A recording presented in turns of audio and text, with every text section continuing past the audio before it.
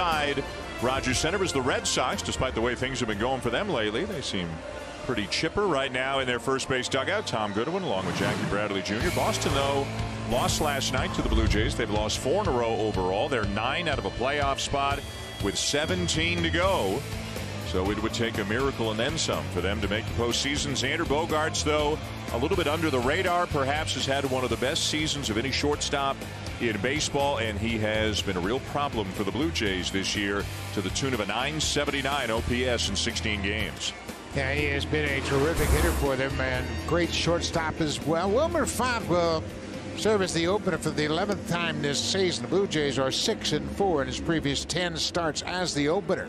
He personally has an 0-2 record with a 245. He's actually pitched pretty well as an opener. I think he's really freed up. He can use his good fastball. He's got a very good breaking ball and a wicked split finger pitch. So he's done a nice job in this opener role. A little bit surprising they used it with Trent Thornton. We'll talk about that more as the game goes on. In the outfield, Oscar Hernandez in left, Jonathan Davis in center, Randal Grichuk. We've highlighted Brandon Drury tonight because he's made starts at six different positions and has committed just four errors in 108 games. And that's really challenging. We talk about guys being versatile, but to be able to play that well at six different positions, Brandon Drury's done a nice job moving all over the diamond this year. This being September, of course, a lot of bodies in the clubhouse and managers for every team, but specifically Charlie Montoyo in the case of the Blue Jays trying to get people in and juggle that roster as best he can. Brock Holt is in the lineup for the Red Sox tonight, and he's about as versatile as Brandon Drury is. He's in right field tonight as he leads off and pops the first pitch up at a very shallow left center. Bichette, the shortstop, will give way to the left fielder, Teoscar Hernandez. Teoscar making his first start in left field since back in May when he was sent down to the minors. He appeared in left field for an inning or two last night. But with Jonathan Davis being a, a very good defensive center fielder, if Davis is in the lineup and Hernandez is in the lineup the rest of the way, Teoscar will be in left. Yeah, the Blue Jays want to see what they have in Jonathan Davis, and he is by far the best defensive center fielder, and they want to see if he might be able to compete for that job on a regular basis next season.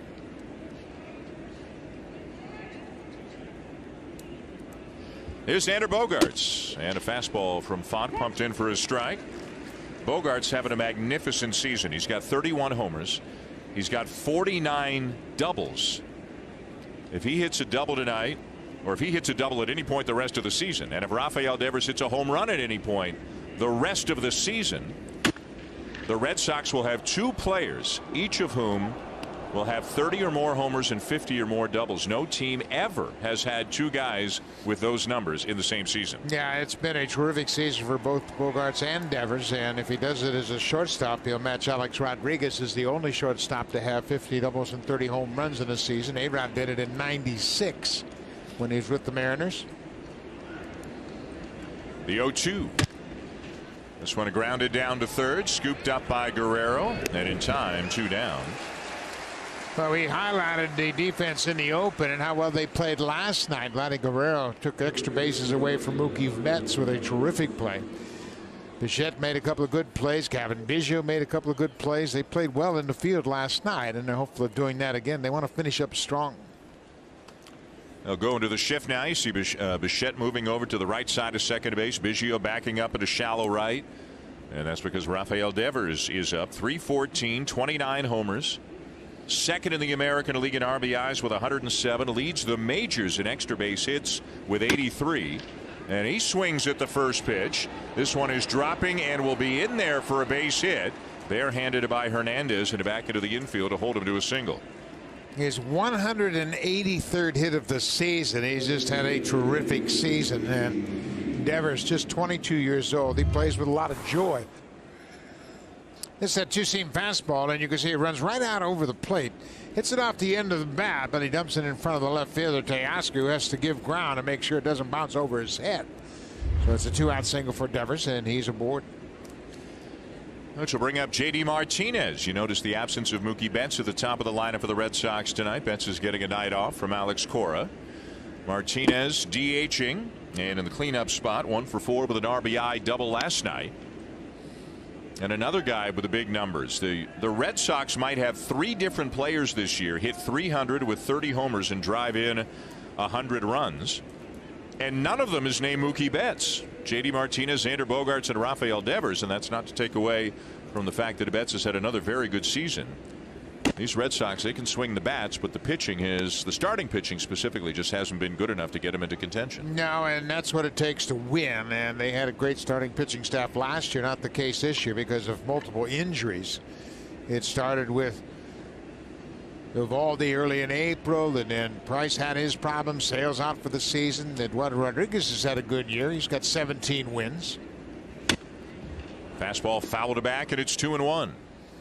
You know, the Red Sox also have four hitters with 28 or more home runs. They've never had four hitters with 30 home runs in a season. They've had teams with as many as three with 30 or more. 2016 and 1977. But never have they had four 30 home run hitters in a single season.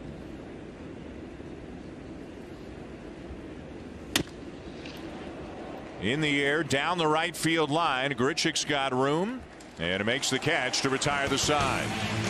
Just nine pitches needed by Font to get three outs here in the top of the first.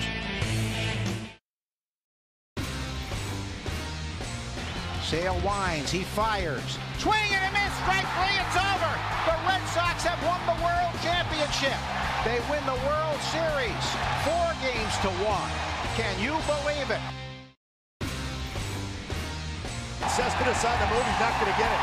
And it rolls off the side wall, and they're going to wave home Kendrick. The throw to the plate is there, oh and goodness. they got it. Are you kidding me? Wow. Here's the pitch. Swinging a hard hit ball inside third, base hit down the left field line. Mazara gets to third. Adrian going to second. He's got a double for 3,000. 3-1 for Acuna. Swinging a high fly ball deep to left field. Way, way back. It's gone! The grandest of all home runs. Two home runs tonight. I'd like to see a hat trick. I don't know about you. Goldschmidt, high drive, out to left. You bet he's done At Rogers Center and Bo Bichette in the leadoff spot as always for the Blue Jays tonight. It'll be Bichette, Biggio, and Guerrero. One, two, three in Charlie Montoyo's lineup as it has been so often the last couple of months. And Vladimir Guerrero, a little bit overshadowed by Bichette, at least statistically, since Bo came up to the majors, but somewhat quietly, Buck, although he's not been hitting home runs recently. He has been productive, hitting for an average, a good OPS, and he's going to wind up with some pretty good numbers at the end of his rookie season. Yeah, he sure is. When you look at his last 36 games, you mentioned 319 average, and they're going to get a look at Bobby Pointer, who is making his first major league start. Pointer has worked out of the bullpen. He's appeared in 25 games over his major league career, all in relief and all with the Red Sox between last year and this year. So he will open this game tonight. You can see this is just his sixth game of the season.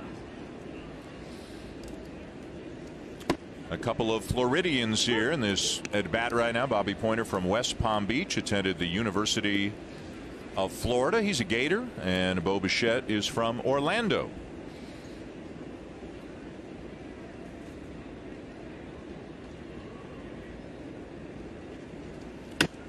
I asked Bo today about, and we talked about it last night, rookies playing into September, a longer season than they're used to because the minor league season ends on Labor Day. And Bo said, yeah, but he's been fortunate. Teams that he's been on have always been in the postseason in the minors. And, and we forget that sometimes, that this group of players has come up very successful through the minor league system. So he's used to playing well into September.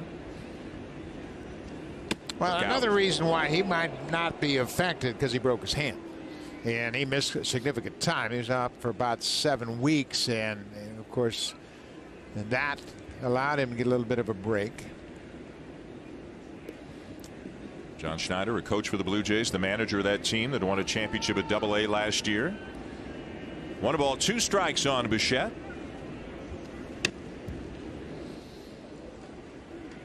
You know, everybody watches Bo swing the bat, and he's got such a violent swing. Everybody says, boy, he swings too hard, but that's his swing, and it's really under control. It's not that dissimilar from that of Jose Bautista's. And he's got a very good approach. He's got a particularly good approach with two strikes. His front foot never comes off the dirt. When he gets two strikes, he just pushes back to get a little rock going in his stance. Well, some people used to say that a guy like Dustin Pedroia swung too hard, and then when he won an MVP, that kind of quieted down a little bit because that, that's just the way that, that he'd always done it, and he'd been successful doing it that way. And you can say the same for Bichette. Uh, he's got a ways to go before he catches up to Dustin Pedroia, but he's certainly off to a good start to his young career. He has seen a steady diet of fastballs, keeps fouling him straight back. Check the swing and a ball up and away. The appeal, but he didn't go, and it's two and two. Yeah, when you face the Boston Red Sox as a young player, there's a chance you're going to face their pitchers in the minor leagues because they both play in the same league. Boston's AAA team is in Pawtucket. Of course, Buffalo is a AAA team for the Blue Jays, and they play a lot against each other. So a lot of these younger players have faced each other coming up through the minors.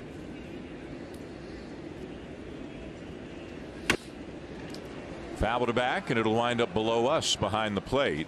I would imagine that in Bichette's case and probably Guerrero's case as well, they probably moved up the ladder quicker than some of the older guys. So they started later and move past some guys on their way to the major leagues. You know, some guys take longer than others to get to the big leagues, and Vladdy's in the big leagues at 20, Bo just 21. A little flare into shallow right, and back goes Marco Hernandez, one down. Well, let's take a look at the Red Sox defensively. Xander Bogaerts is back at shortstop. He did not play in the game last night. We're going to highlight him because he's played the third most innings in the majors at shortstop this season. Marcus Semien leads the way. Nick Ahmed of the Diamondbacks is second, and Xander Bogaerts has played 1,236 in the third innings at shortstop. And the interesting thing is, Semien has committed just 11 errors. Ahmed and Bogaerts both committing just 10 errors. And Bogaerts is a perfect example of a great two-way player, offensively and defensively. Yeah, he's got to be among the most underrated stars in baseball, which is kind of funny when you play in Boston. You don't think that can happen, but overshadowed a little bit by maybe some of the bigger names on his team. Here's Cavan Biggio. Had a good night last night. Hit a home run, walked a couple of times. Biggio 208, 13 home runs now on the season.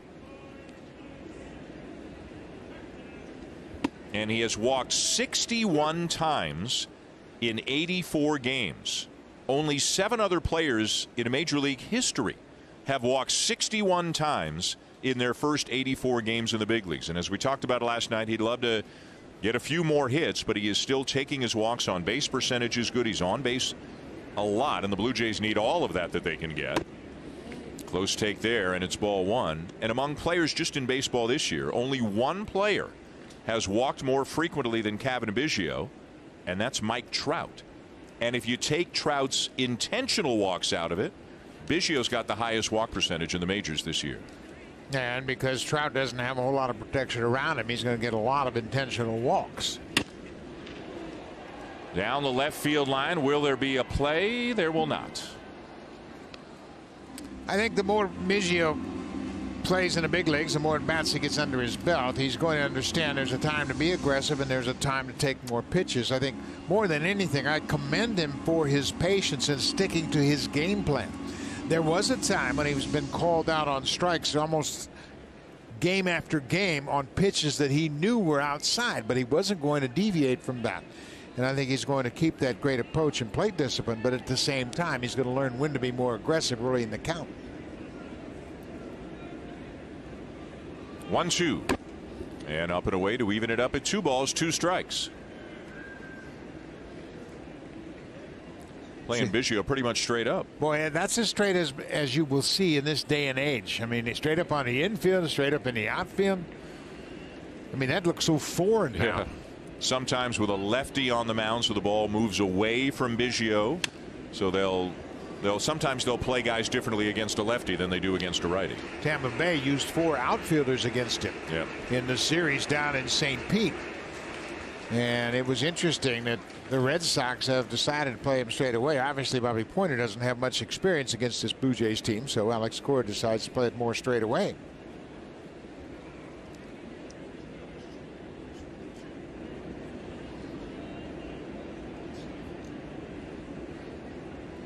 Again, the 2 2.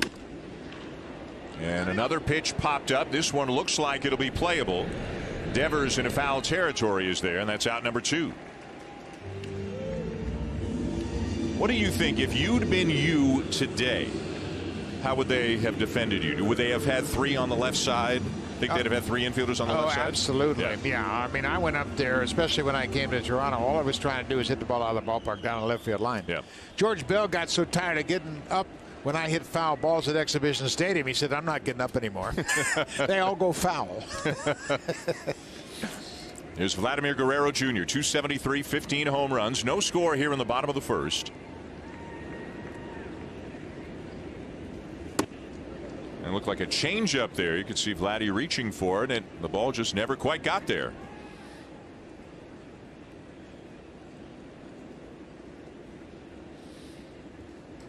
Blue Jays had photo day before the game today. Three or four rows of seats and benches, and all the players were out there. And we showed you the shot of Guerrero and Bichette and Biggio together.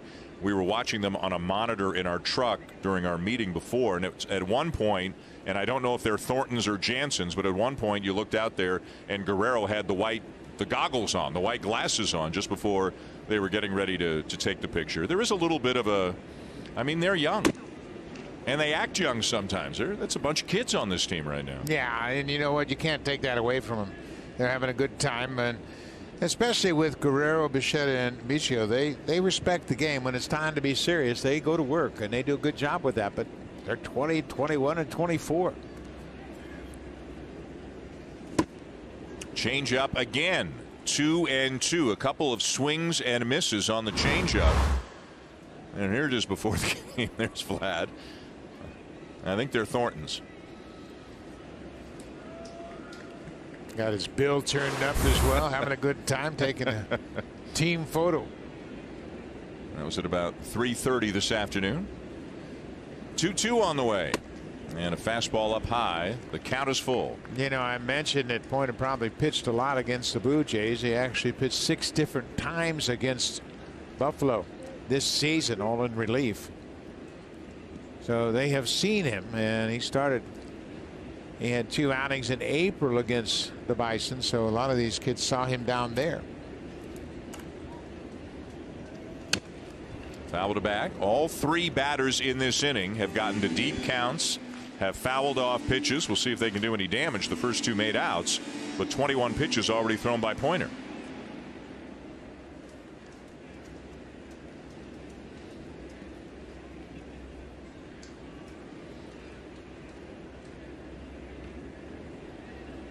And again, the 3 2. Jam shot, shallow right field. And who's got it?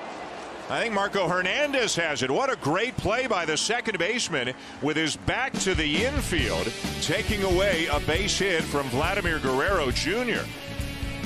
Boy, they don't come much tougher than this for a second baseman. Concentration, keeping his eye on the ball, making a terrific catch. And he swings and drives one left center field deep.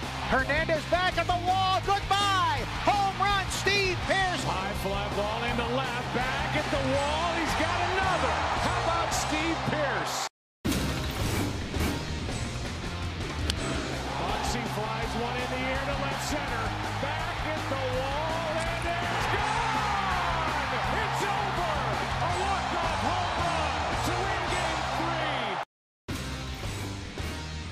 Seattle Mariners, Felix Hernandez, the 2-2. He got him! It's finally happened! A perfect game by a Seattle Mariner!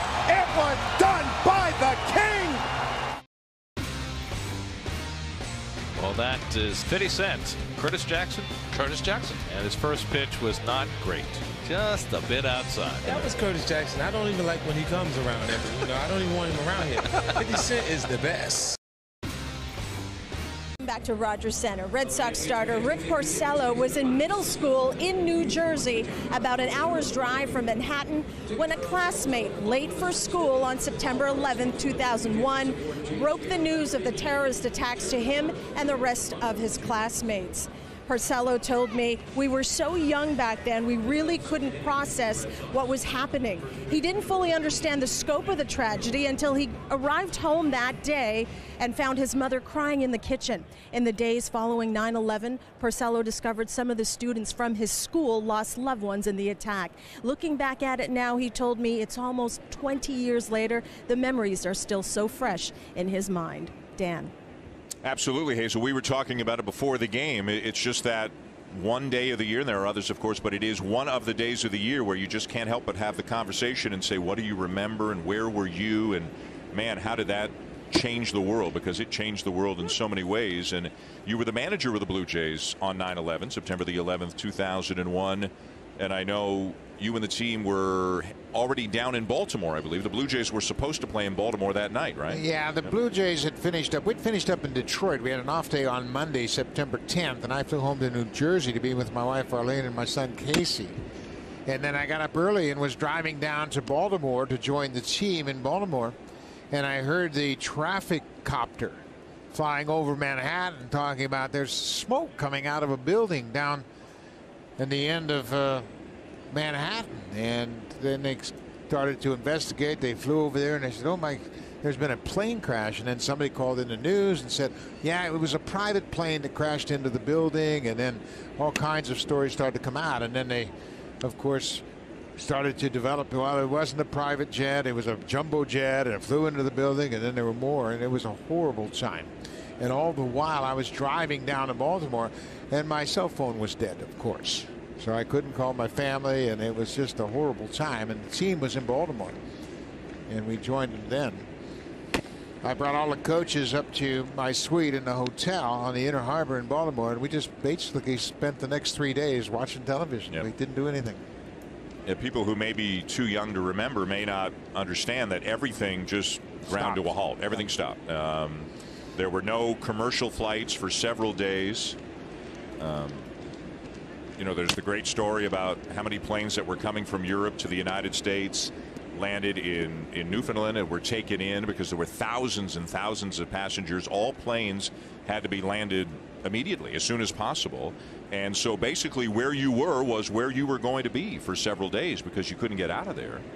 You know, people trying to bus home, rent cars, do anything they could to get in touch with their loved ones and try to get back home. Mitch Moreland, the batter, but a 2 2 count and a swing and a miss. Good movement on that fastball, one down. And baseball resumed one week later. 9 uh, 11 was Tuesday, September 11. The baseball resumed Tuesday, September 18th. So the season. Uh, they, they the week that was supposed to have been played became the last week of the season. Um, and it was a very emotional thing because, because, of course, in 2001, the Yankees were in the World Series. And while the games were being played in the Bronx, there were still, it was past the time of rescue efforts, obviously, and sadly at that point, but cleanup efforts were still going on. They lasted months and months and years and years uh, down in lower Manhattan. It was a very emotional time, and baseball kind of became intertwined with it in in many ways through the two New York teams. Yeah, and you remember the images of the Yankees and the Mets wearing New York Police Department hats and fire department hats. It was a great way to come together for everybody. A sad way to come together for sure. Benintendi pops up and quickly two down for Font. You mentioned Gander, Newfoundland, and Yeah. if anybody hasn't seen it, you certainly have to go see Come From Away. Yep. It does a terrific job of retelling the story of how Newfoundland and the people in Gander opened up their homes, opened up their hearts, and took care of 7,000 people that were stuck in Gander because the air traffic control had shut down. 7,000 people in a town of 13,000 people. Well, you've seen the play, right? Yeah. And I've seen the documentary. Uh, so we can each only speak to what we've seen. They're both fantastic. Yeah, right? So, yeah. They do such a great job of telling the story. And there's so many things you forget about that had to be addressed for all those 7,000 people. Yeah. Danny Jansen lost the handle on that ball, trying to throw it back to Wilmer Font, so they'll take that ball out of play. My pitching coach, Mark Connor, texts me every morning of 9 11 asking how my family is, and we'll never forget. Mm-hmm. And he and Garth Iorg, my first base coach, we all communicate and text back and forth most of the morning of every 9 11. And there was a ceremony before the game tonight. First responders here locally in Toronto were part of the ceremony. I have a picture that brings back all of it very vividly of when we started on that Tuesday against the Orioles. Cal Ripken and I standing at home plate with both teams up the foul lines as we resume play.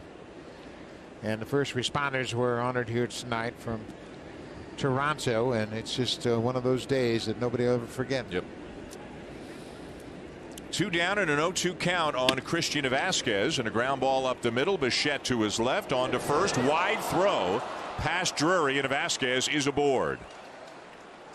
Uh, I think Bichette had a little more time to set his feet and make a throw. Vasquez, the catcher, he runs well, but I think Bo had a little more time to get his feet underneath him and make a good throw.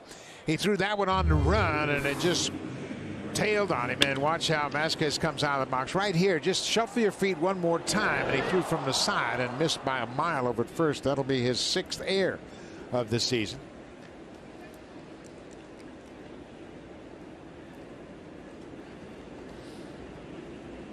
And that's one thing that major league coaches will talk about a lot is for players, younger players, to really improve on that internal clock. There goes the runner.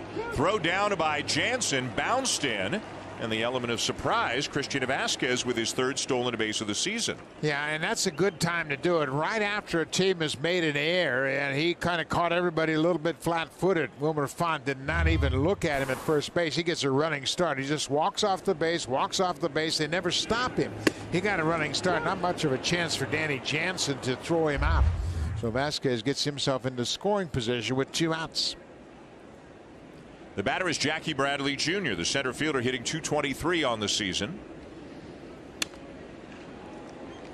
Wilmer Font pitching is the opener for the Blue Jays tonight. Trent Thornton will be the bulk guy or the featured pitcher or however you want to say it and is likely to come in to start the top of the third. Font opening for the 11th time this season and this will be the first time that Thornton does not start a game. He is on the mound right now getting loose in case his services are needed here in the second. But they won't be. Font strikes out Bradley to retire the side. We go to the bottom of the second. No score.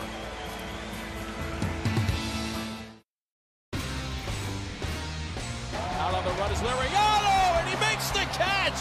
An amazing catch. Sails a throw back to first base, and this is in time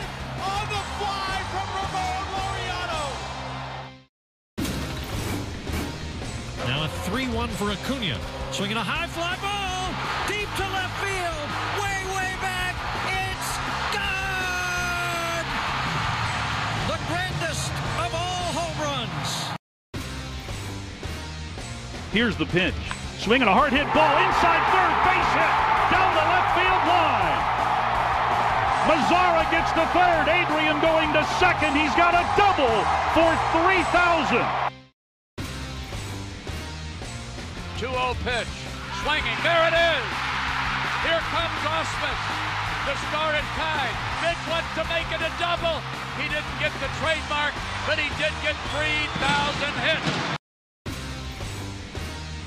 The fans are on their feet. Now, the only man in between Paxton and the history books, a former American League MVP, Josh Donaldson. To Seager, the pick, the throw. Paxton has done it. It's a no-hitter. Sale winds, he fires. Swing and a miss, strike three, it's over.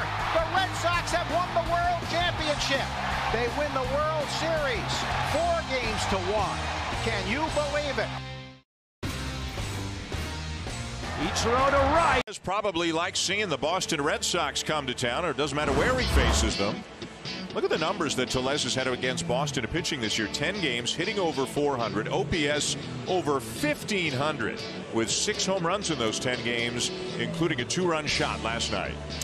Rowdy hit one of his longest home runs of the season at Fenway Park earlier this season. It was measured at 452 feet, and he has really enjoyed it. And, you know, that's a tough accomplishment. Of course, you're going to face the Red Sox 19 times a season, and Rowdy's made the most of his at-bats against Boston. Shift on, no score, bottom two, and a strike from Pointer. It's 0 1. Rowdy had kind of a fun moment last night as well after the game. He has come to know a couple of huge Blue Jays fans. Corey and Olivia Bainbridge are their names. They met down at spring training, I believe, the first time, and happened to bump into each other at a restaurant, and Rowdy said they were great, friendly people. He's gotten to know them a little bit.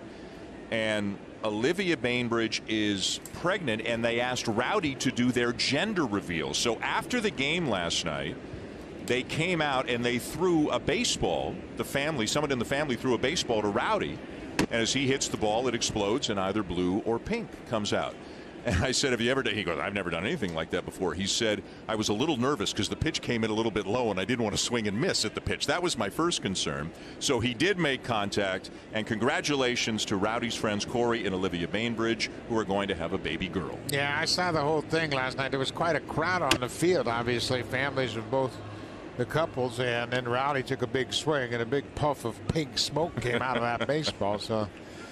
You know, that's the new thing now. Everybody's going to have a gender reveal. Somebody's going to have some kind of exploding baseball mm -hmm. that is either pink or blue. In this case, it was a baseball last night. 18 home runs on the season now for Tellez. Couldn't check the swing right there, and he knew it. And he's down on strikes, one down.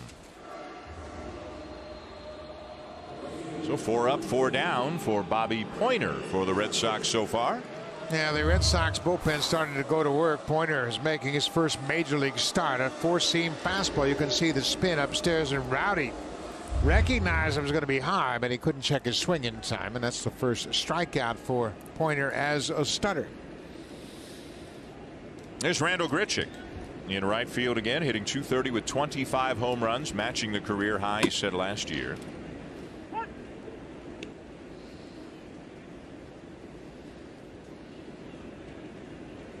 Blue Jays winning 4 to 3 last night. They'll wrap up this series and their season series with the Red Sox tomorrow night before the Yankees come to town for the weekend.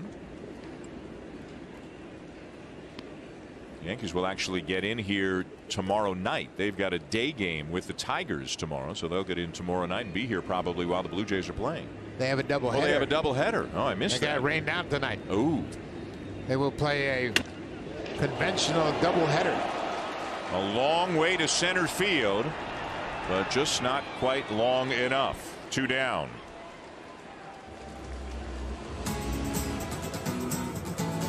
Rake in the deals during Home Hardware's fall saving sale. On now till September 18th. Only at Home Hardware and Building Centers. Here's how. Boston, like the Blue Jays, using an opener tonight, as Buck mentioned, and Here's the first guy who's going to be coming out of the bullpen, right-hander Trevor Kelly, at some point soon. It this could be interesting. Trevor Kelly could pitch against his former college teammate, Trent Thornton. They both pitched in North Carolina. A couple of Tar Heels. As Teoscar Hernandez fouls one back 0 1. They both played three years together at North Carolina, along with Colin Moran, the third baseman of the Pirates. So that'd be an interesting matchup. Red Sox have had a number of bullpen games or something to that effect recently. Frequently using seven or eight pitchers in games in the last week or so. So much fun. and that's the way baseball is now, especially in September. And we have talked about it. The bullpen for Boston is overloaded. They got more arms down there and they know what to do with. David Price can't pitch. He's got a cyst in his hand. Sale's out for the year. Nathan Eovaldi started last night and they've got a full house in the dugout as well. Well, if you're on their 40 man roster and you didn't get a call up in September, you're doing something wrong in the Red Sox organization. Well, I tell you what, there is so much uncertainty now with the news that we heard a couple days ago that Dave Dombrowski's out as a GM. And you know, a lot of people trying to speculate what happens now. They remove him knowing that they were going to get rid of him anyway to give them a jump start on the replacement and certainly has to be difficult for a manager in his second season. And the manager, the GM that hired him is now gone. Right. I can relate to that. Happened to me. Happened to you. That's right. Yeah, and there's so much uncertainty. too. Gord Ash got fired after my first season in 2001, and then J.P. Ricciardi came in, and I knew I was not very long for the job. And it's a bad feeling.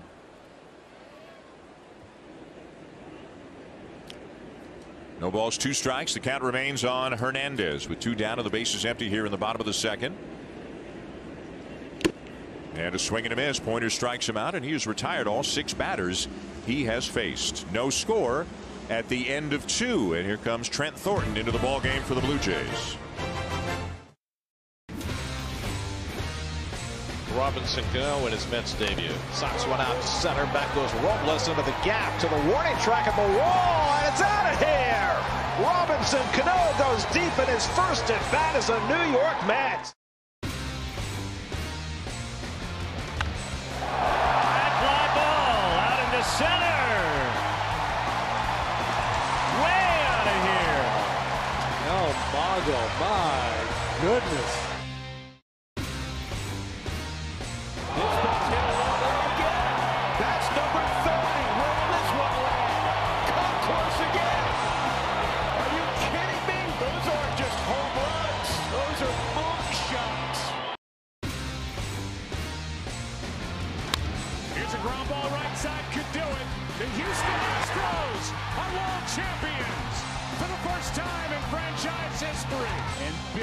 To this moment, world champions.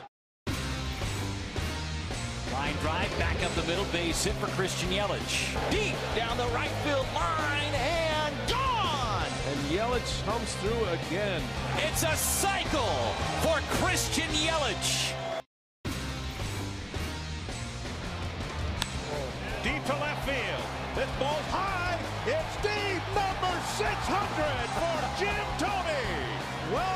The 600 Club. Very nice, Jim Thome.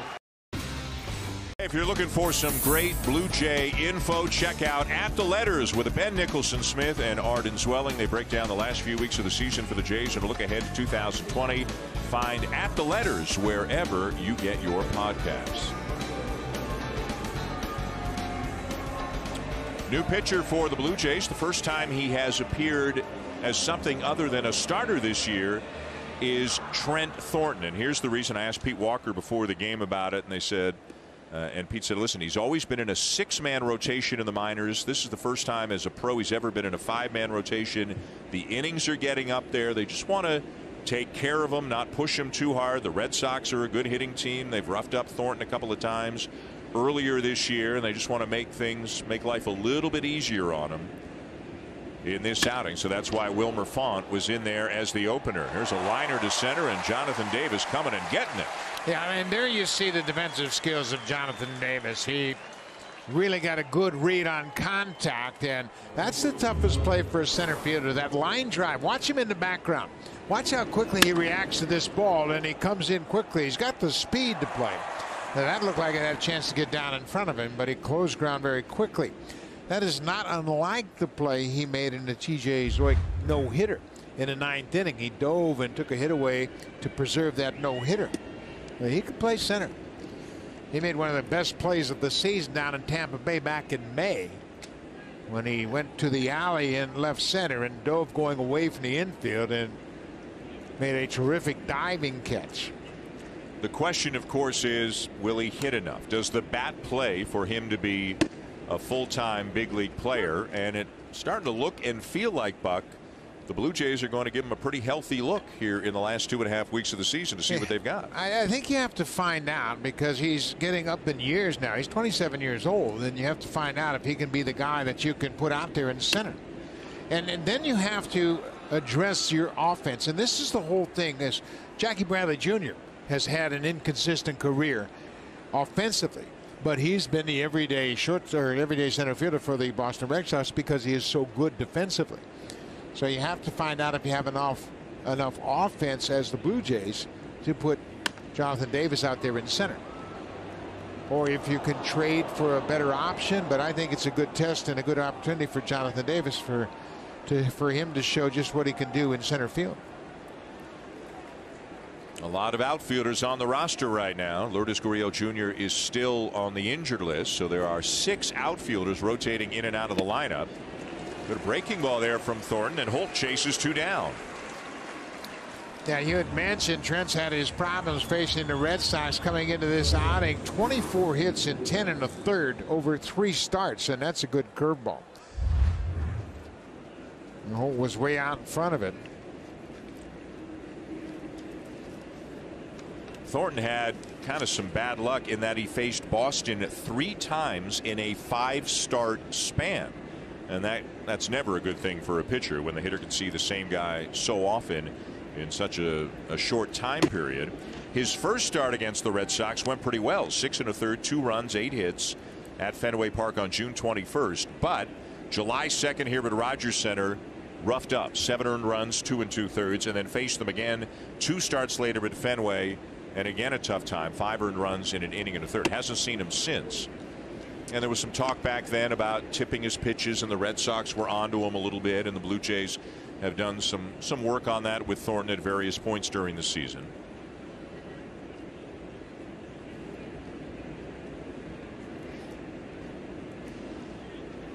Sure didn't seem like he was a candidate back in the middle of March to make 28 starts for this team this year, but a lot of other guys whether it was injuries early, eventually trades, of course. There's Matt Shoemaker, of course, who went down with that knee injury back in May. Good to see him back with the team. He's ahead of schedule uh, on his rehab from the torn ACL. He started some throwing. He wants to get some bullpens in in the next month or so, shut it down, and then hopefully feel 100% coming back into spring training. Yeah, he says he's going to be able to go through a normal off season. He's really been pleased with the way his leg has responded and I saw him throwing here yesterday out in the outfield, so that's a great sign.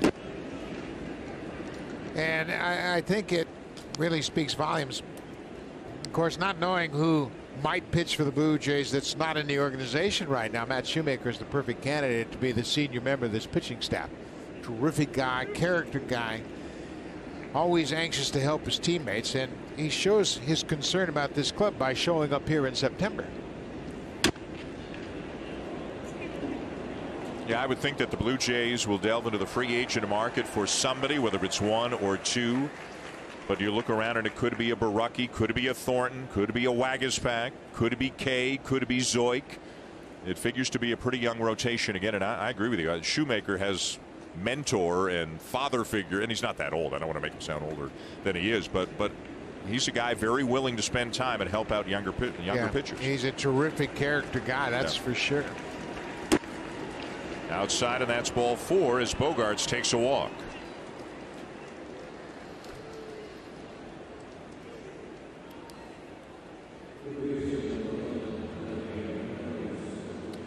So a two-out base runner for the Red Sox here in the third. No score in this game, and that'll bring up Devers, who had a blue base hit to left field his first time up when you look at the Boston lineup and look at the matchups that they have against Trent Thornton, it's uh, kind of frightening because you mentioned the numbers, but Devers himself is three for five with a home run. But then again, it seems like he's three for five against every Blue Jay yeah. pitcher this year. Blue Jays will not be sorry to see the last of him this season.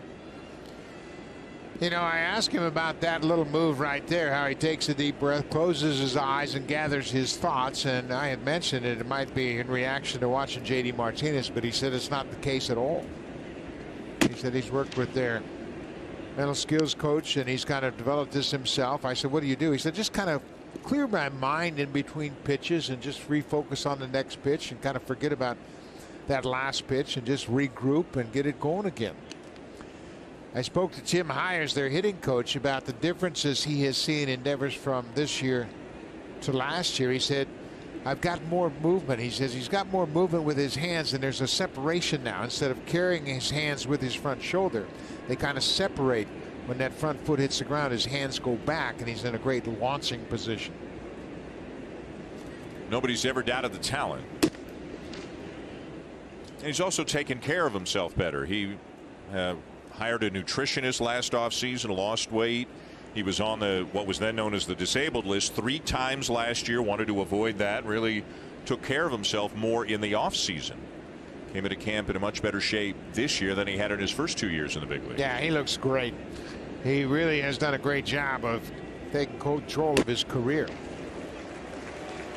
He's still having issues in the field. He's committed to 22 errors. He and Vladdy Guerrero Jr. teammates in the winter ball. They play on the same winter ball team.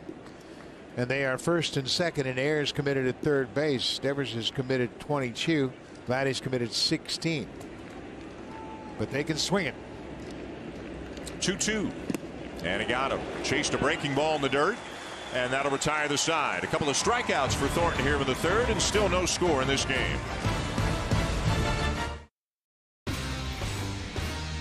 And he swings and drives one left center field deep.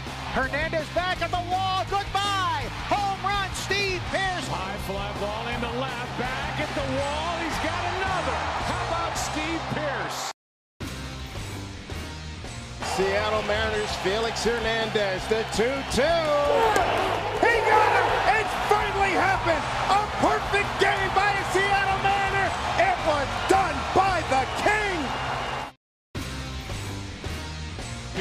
pitch on the way. Swing and a miss! He struck him out! Verlander has done it again! The second no-hitter in his young career!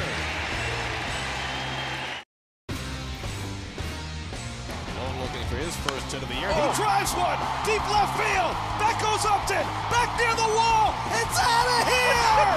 Bartolo has done it. The impossible has happened. One to the gap in right center. This could be the one. He's going to be held to a double. He's trying for three. He's going to do it. Get down. He's in there. 1-0 looking for a fastball. In the air, right center field. The first one in the Phillies uniform is a bomb into the second deck for Bryce Harper. The Phils lead it seven to four. Two home runs. 29th to celebrate Fan Appreciation Weekend presented by TD. On Saturday, the first 15,000 fans in a Rogers Center will receive a Blue Jays fanny pack. Sunday will be our final Junior Jays Sunday of the season. Prizes and activities throughout the games. Get your tickets at bluejays.com slash promotions. Hard to believe just one more homestand after this one. No scores. We go to the bottom of the third. Trevor Kelly comes into the game for the Red Sox. A couple of different stints with Boston this year and made his major league debut right in this ballpark the day after Canada Day. Gave up three earned runs in his first inning of work. Yeah, in a good season in AAA, he was named a 2019 International League midseason and postseason All-Star, five and five with 12 saves. And we mentioned we saw him. He got hit around a little bit in that major league debut. And as I mentioned earlier, he and Trent Thornton were college teammates at the University of North Carolina. And now opposing each other, but this moment in this game drops down and spins that breaking ball down and away for ball one. One and one on Jonathan Davis. In the big leagues this year, limited at bats hitting 172. At AAA this year hit 262 with an OPS of 831. Showed a little pop down in the minors this year. They'll appeal and he went around, says Chris Segal, the first base umpire. So it's one and two on Davis. What do you see offensively when you look at Davis? Well, you know, we haven't seen him an awful lot, and I'm not trying to avoid the question, but, I, you know, he does square up the baseball from time to time. And I just think uh, you'd have to have a better ex example of his at bats and get a chance to see him a little more frequently. You know, when you come up like he did last year, all you're trying to do is make a big impression. But I think if he gets an opportunity to have some regular bats, he will show that he might be able to hit enough because he certainly has another asset the Blue Jays don't have much of, and that's speed. Yep. Yeah, speed and defense, really the two things that he has in abundance. It's how much can he do with a bat? Fly ball to center here for out number one. You know, and it's very difficult to judge a player in spring training or in September. I mean, that's the old adage. You can't go by what you see in the spring, and you can't go by what you see in September. So I think we're going to have to see a longer look of Jonathan Davis before we can really make a judgment. But, you know, he's kind of running out of time. The options are a concern as well. No, he's still controllable in terms of options beyond this year. There's a bunt foul as Brandon Drury was trying to bunt for a base hit. If you're looking at other outfielders on the Blue Jays roster, Derek Fisher and Anthony Alford, and we just saw a shot of Alford in the dugout. They are both out of options next year. Billy McKinney still has one next season, and uh, Davis still has a couple. So obviously what that means is if they don't make the team, then they're exposed to waiver wire, and anybody Yeah. can claim them off of that. It's a it's a crowded group right now. you know, it, the assumption is Randal Grichuk's going to be the right fielder next year, and Lourdes Gurriel Jr. is going to be the left fielder next year. I think that's probably an odds-on statement that's going to happen because Grichuk signed an extension for five years. He's going to be in right field. Lourdes Gurriel certainly has grabbed a hold of the left field position since he's made that transition. Played very well. Swing and a miss. Again, that sidearm breaking ball. Trouble for Drury, two down. Yeah, Kelly has a very interesting delivery. It, it's almost like he's short arming it from the side, but look at the break on this breaking ball. Big sweeping slider gets Drury to swing and miss. So Pointer and Kelly have set down the first eight Blue Jays they have faced tonight. The number nine hitter is the catcher, Danny Jansen.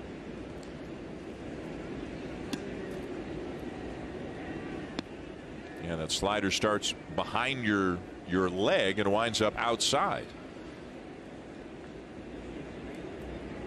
Reese McGuire with a good night last night and Charlie Montoyo saying for the most part he just thinks he's going to alternate the catchers the rest of the way. They may play matchups a little bit or the hot hand a little bit but the playing time should be about equal the rest of the way for McGuire and Jansen.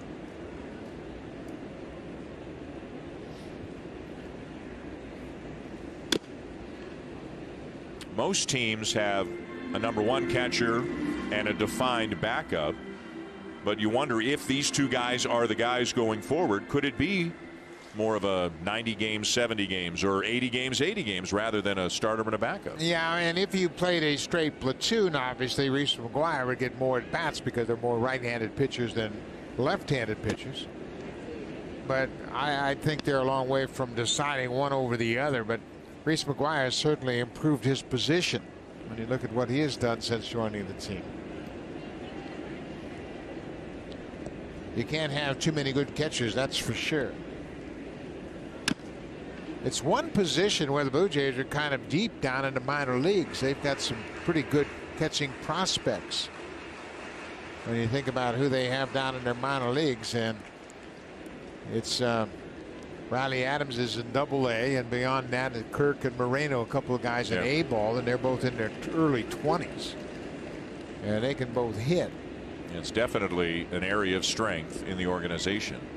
Three and two the count on Jansen. And a swing and a miss. Another breaking ball from Kelly as he sets down the Blue Jays in order here in the bottom of the third.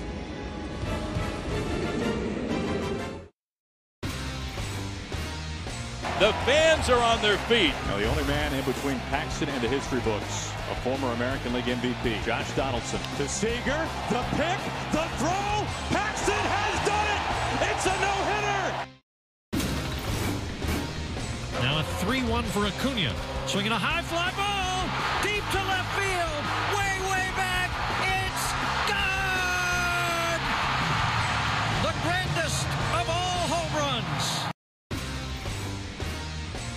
2 0 pitch. Swinging. There it is. Here comes Osmus. The start and tied. Mid went to make it a double. He didn't get the trademark, but he did get 3,000 hits. Here's the pitch. Swinging a hard hit ball inside third, base hit down the left field line. Mazara gets to third. Adrian going to second. He's got a double for 3,000. 949 now in Atlanta, 649 in Arizona.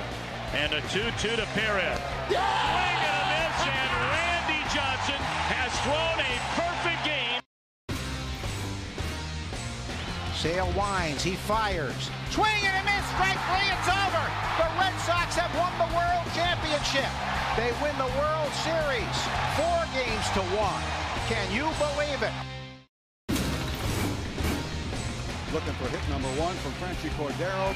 He struck him out. The Dodgers have thrown a combined no-hitter. And on the 13th and final strikeout of the game. Well, that. Trent Thornton in 28 starts this season, his first 16. He was doing well. He was battling. He was relatively consistent. Five of the next seven did not go well at all. You see the inflated numbers. The last five starts have gone pretty well. Hasn't gotten that deep into the games, but again, they're managing his innings a little bit as a rookie, but he has competed in his last five starts. Didn't start tonight, came in in the third inning after Wilmer Fonda went the first two. Now in his second inning of work as we go to the top of the fourth inning. You know, you can look at the numbers, but do the numbers tell the story? If, if I were to say to you, and I'm about to, how do you think Trent Thornton's season has gone? How would you rate his season, uh, you know, given the role that he was put into and what the expectations were back in March? I think it's been a very good season considering he was able to make 28 starts to this point in the season. He logged a lot of innings. He got a lot of good matchups, and he had some great moments. Seven innings of one hit ball against the Rangers down in Texas back in May. He had a couple of good outings later on, six innings at Baltimore. He threw another six inning outing at Baltimore, and, you know, he set a franchise record with eight strikeouts in his major league debut.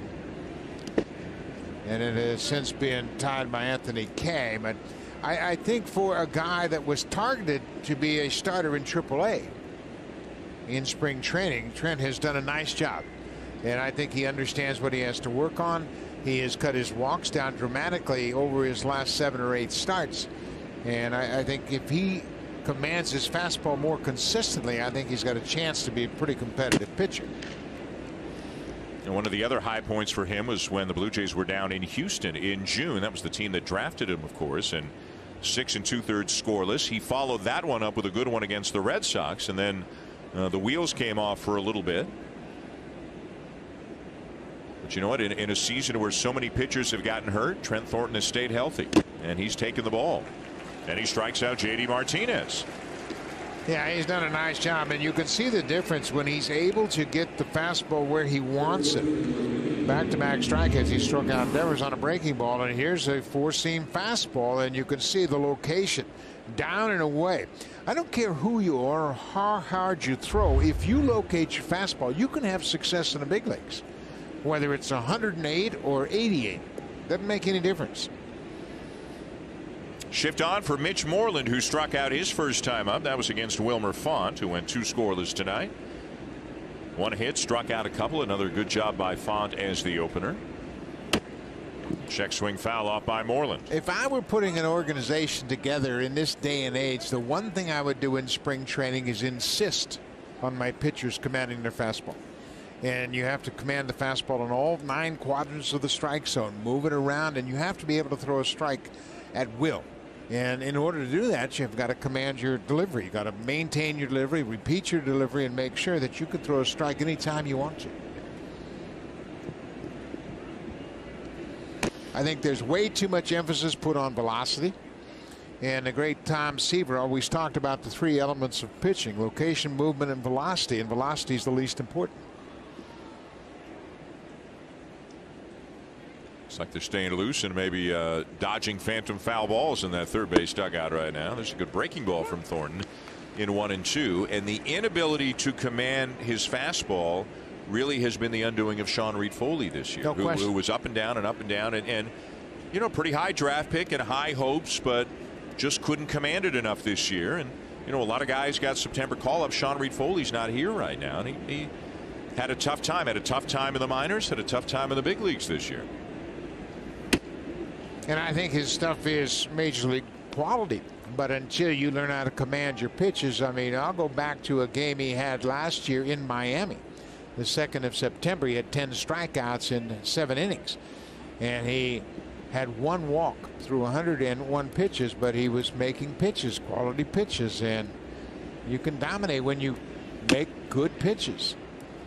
Boy, Thornton's mixing nicely right now. We've seen some good breaking balls. That was a changeup right there, and Moreland was out in front. We saw a cutter in on Moreland that backed him off the plate a little bit. Corey Hart's the AAA hitting coach having a chat with Anthony Alford. Of course, they work together, and he's trying to explain what Mitch Moreland might be doing, what he's might looking for here. Room out there for Jonathan Davis to make the catch, and Moreland retired two down. Rake in the deals during Home Hardware's fall saving sale. On now till September 18th. Only at Home Hardware and Building Centers. Here's how. Muggy day here in Toronto. The roof is closed tonight for the ball game. There was some kind of lightning and thunderstorm last night about 45 minutes after the game. Really an unusually warm mid-September day here in Toronto. The roof is closed. They just opened it for the team photo at about 3:30 to get some better lighting and then closed it back up again. Two down and the shift is on for Andrew Benintendi who popped up in his first at bat tonight.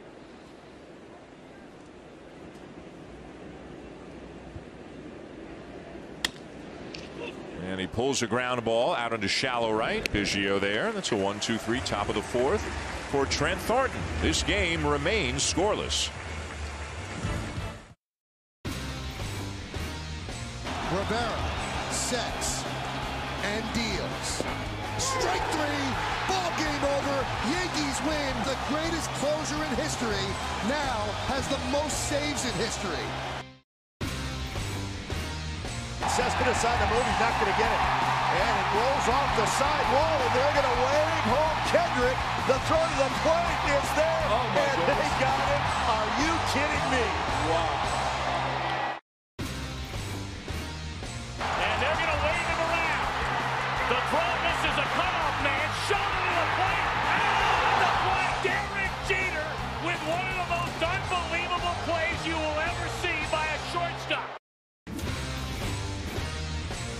Two home runs tonight. I'd like to see a hat trick. I don't know about you.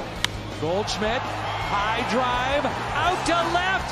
You bet he's done it! Three home runs! Yelich knocks one to the gap in right center. This could be the one. He's going to be by both John Schneider and AAA hitting coach Corey Hart. While watching Bichette take BP, the men suggested he considered toning down the big leg kick with less than two strikes, so he's a little bit more consistent at the plate. The suggestion was met by a respectful but firm no. Bichette explaining, remember when Tiger Woods was winning all those majors? He didn't care if he hit the ball over 300 yards and it ended up in the rough because his short game was so good. Well, my two strike approach is my short game. Schneider and Hart both looked at each other and said, You win, keep doing what you're doing because that was the perfect answer. Dan? For a guy as young as he is, and maybe this is because, as we've talked about, he grew up in the game with his dad being a big leaguer, but for a guy as young as he is, he's got a very good idea, Buck, of what he wants to be and what he needs to do to be what he wants to be. Yeah, he wants to be one of the best players in the game. And you do that by continuing to work. And after the game last night, he went down and hit the batting cage. And he had some things he wants to iron out. He has not hit well in the month of September, and he's aware of that. And he's getting some pitches to hit that he's not been able to hit. And he has hit just 182 in the month of September, 6 for 33. So he wants to work, and he and John Schneider, of course, have a great relationship, as does Corey Hart and Guillermo Martinez as well. And Martinez worked with Bo in spring training. Bo was the best player the Blue Jays had in spring training. Many scouts that watched him on an everyday basis all raved about Bo Bichette, and he's your best player. He played well on the field. He got big hits. Did a nice job for them. Boy, Kelly painting on the outside corner as he jumps out in front of one and two. And again, we will see a lot of Red Sox pitchers tonight. Brian Johnson, Ryan Weber both up.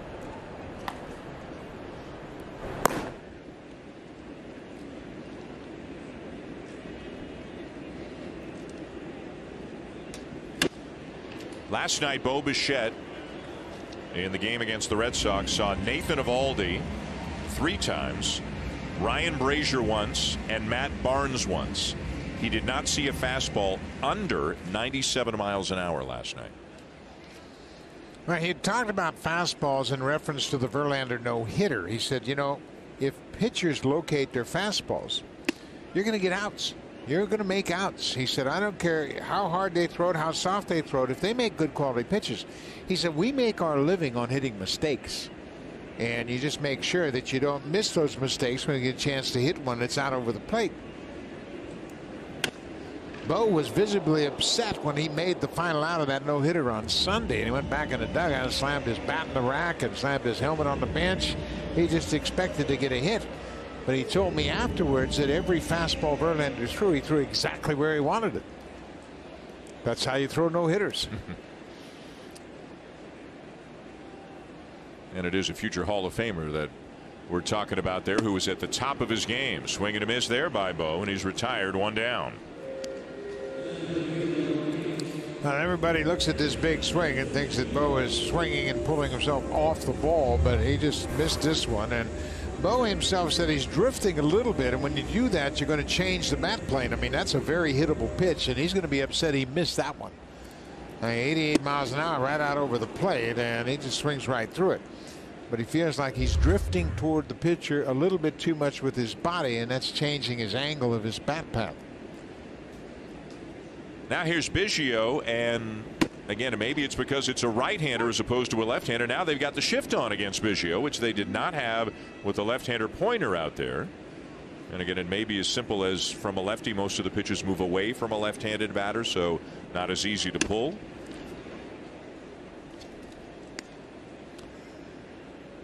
The StatCast AI is powered by AWS, and we thought we'd show you the spray chart for Cavan Biggio and where the defense sets up. You can see they play him to pull, and they've got three defenders in 29 and 46 percentile where he hits the ball. And they're not concerned about the left side of the infield at all because he just doesn't hit many balls over there. And of course, all of this information is based on 162 games, and over the course of a season, those numbers are going to play out. But the hitters now, in my estimation, have to make adjustments from game to game and take advantage of all the spacious holes in the outfield and the infield.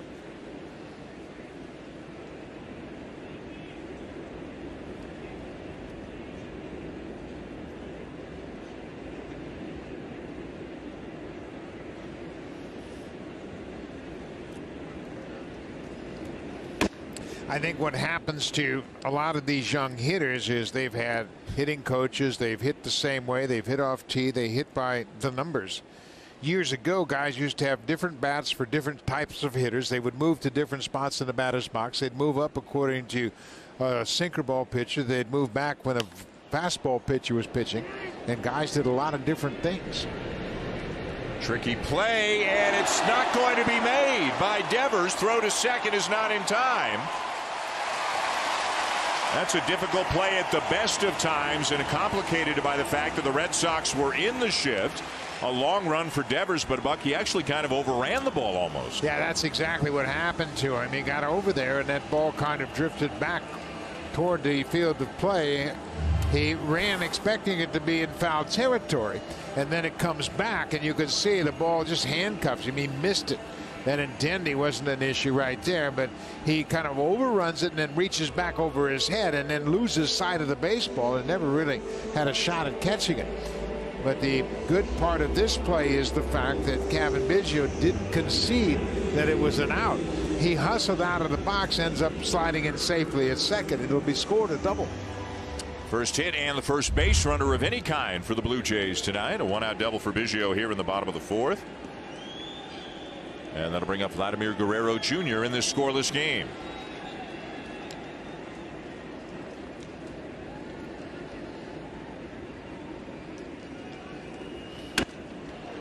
Jammed and he fouls one back below us. It's 0 1.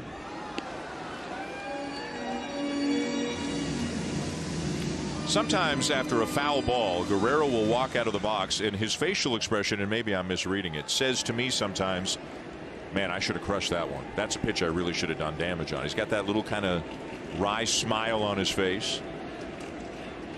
We used to see it all the time with Edwin Encarnacion. I think you're reading it right on.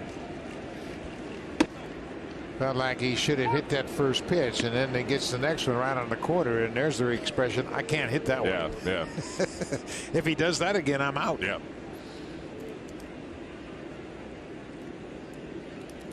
Pretty good numbers for a rookie, especially a rookie that's 20 years old. Runner is going. And the pitch taken for ball one, and there's no throw as Biggio takes third.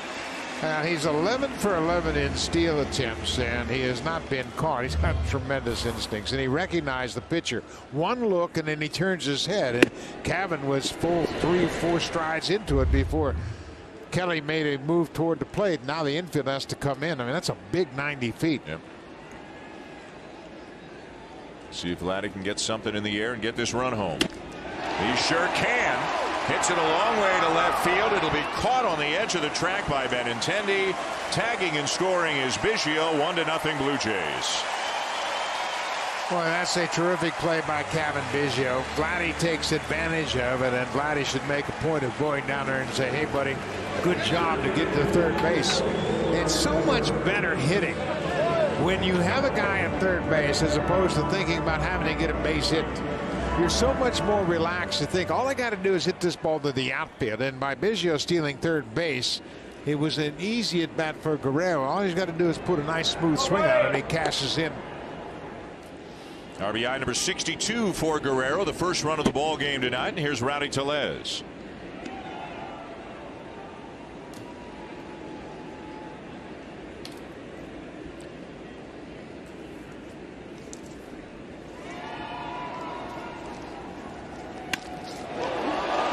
fly ball to deep right field. And it's gone. Second home run in as many nights for Rowdy Tellez, and it is two to nothing.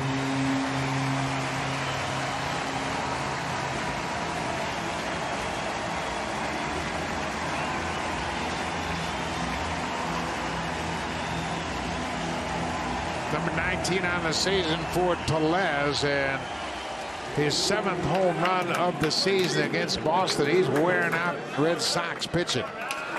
And all these good things happen when you force the issue and you get back to Biggio hustling on the pop-up, stealing third base. He set up the sac fly for Guerrero, and then Rowdy Tellez punctuates it a little bit with a homer to deep right center.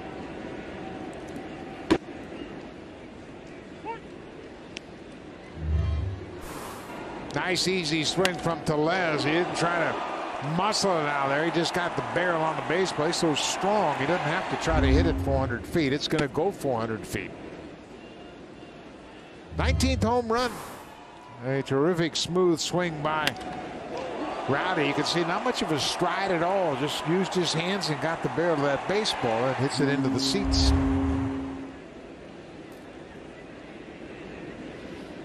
They want to get a long look at him. They want to see as much of Rowdy Tellez over the next two and a half weeks as they can to try to decide exactly what they have here, what they what they think of him going forward.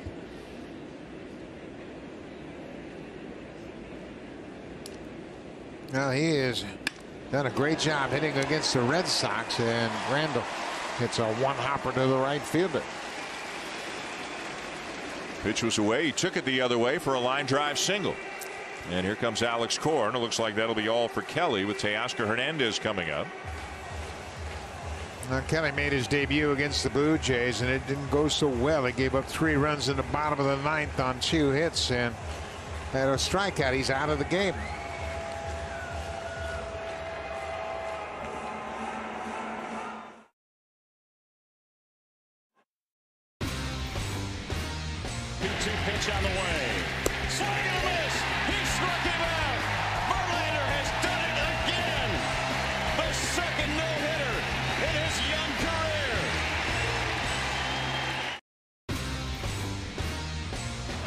On the way.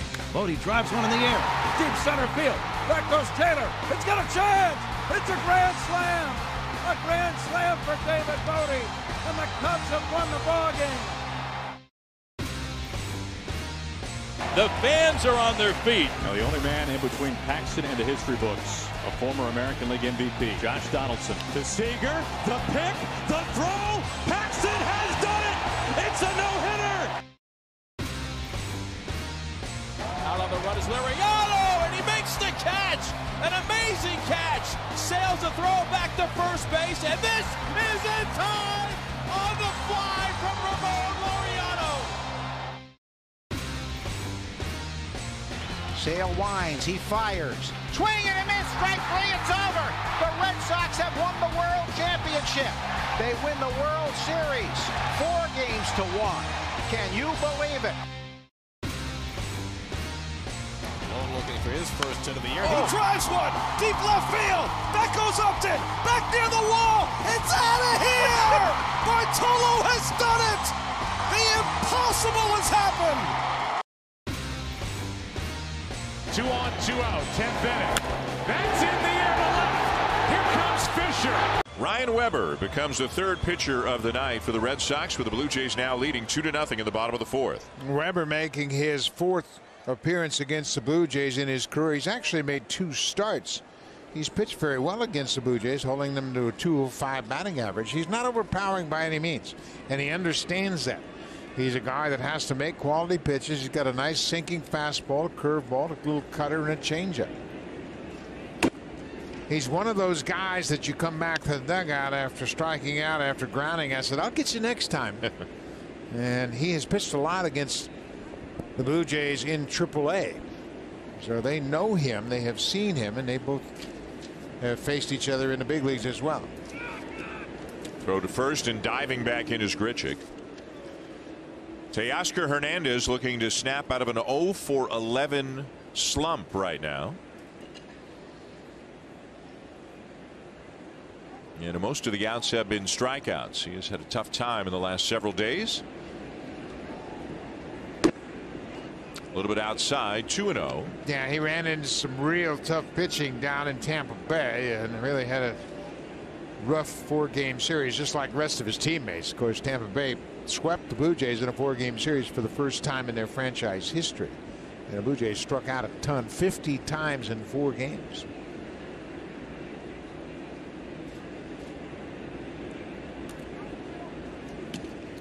Breaking ball will go to the backstop and Grichuk easily into second. I would think it's one of those that will be scored a wild pitch, but if I know the catcher beside me, he'll say that's one the catcher should have had, even though it wasn't that good of a pitch. Absolutely. When you call a breaking ball, the only place it's going to beat you is to the right. So you really have to guard against that ball. And you can see how late he was reacting, just tried to backhand it. And it will be a wild pitch charge to Weber, but that's the ball that Vasquez has got to catch. Vasquez has nine pass balls this year. There's a liner into right field for a base hit. Charging his Holt, and the ball was hit so hard that Grichuk will be held at third. And now as the throw is kicked around a little bit near the plate, Hernandez will take second on the play. Yeah, heads up base running by Teoscar because that ball was played off the catcher's chest protector. The Red Sox haven't played a very clean game here tonight. And it's a great piece of hitting by. He stays on the fastball. Luis Rivera stops the runner Grichuk at third because it was hit right to Holt. But look at Vasquez. He plays it off his chest protector instead of trying to catch it. And Teoscar, because he was watching the play develop, is able to take advantage of that. And he will turn around and watch the play and sees the catcher play it off his chest protector and reacts immediately to take the extra 90 feet. Here's a strike taken by Jonathan Davis. Initially, we are told it's obviously a single for Hernandez and just second on the throw that no error has been assigned on the play. I don't agree with that because he stopped at first base. Right. He stopped at first base and he wasn't going to second at all until it was misplayed by the catcher. I don't think you could penalize the outfielder in that situation. And Vasquez played it off his chest protector, but I think there should be an error involved. Yeah, usually if the throw bounces, then the error is charged to the outfielder, so that would be on a hold. We'll wait and see if that's revised. But either way, Hernandez with some alert base running. See if Jonathan Davis can cash in a couple with a base hit here. Both Grichuk and Hernandez going the other way for their singles. Blue Jays with a couple of runs in already on a sac fly by Vladimir Guerrero Jr. and a home run by Rowdy Tellez.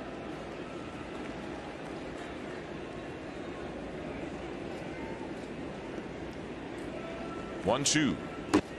Check the swing on that sweeping slider away. Two balls, two strikes.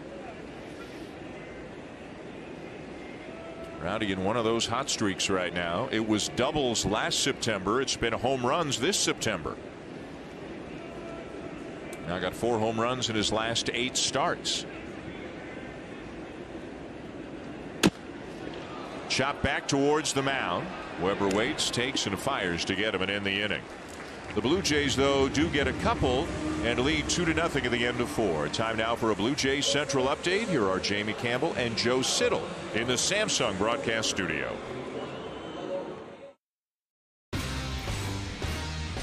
Well, that is 50 Cent. Curtis Jackson. Curtis Jackson. And his first pitch was not great.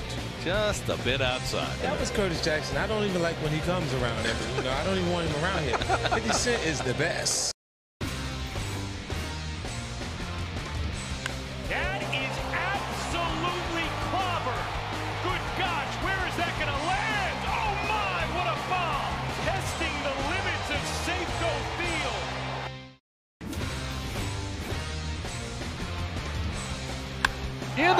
Deep left field for Tatis Jr. His first home run in the majors is a two-run blast. There's contact, and then there's that. Ichiro to right and deep. Back goes Parra, and it's off the wall.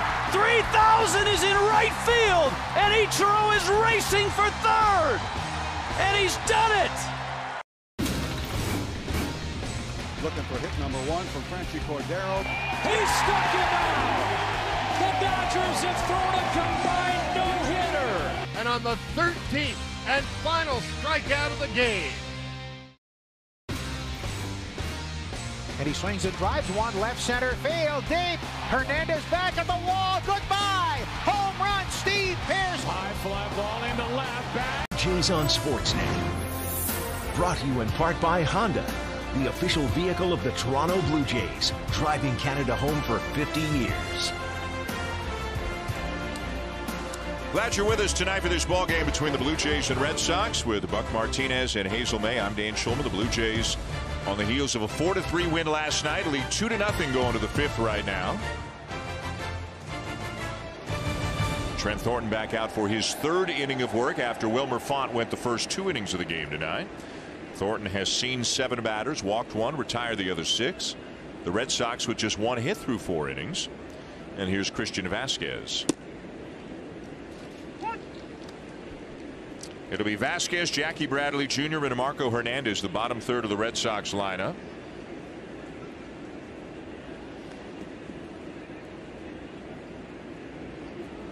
Vasquez involved in a couple of defensive plays in the bottom of the fourth that benefited the Blue Jays.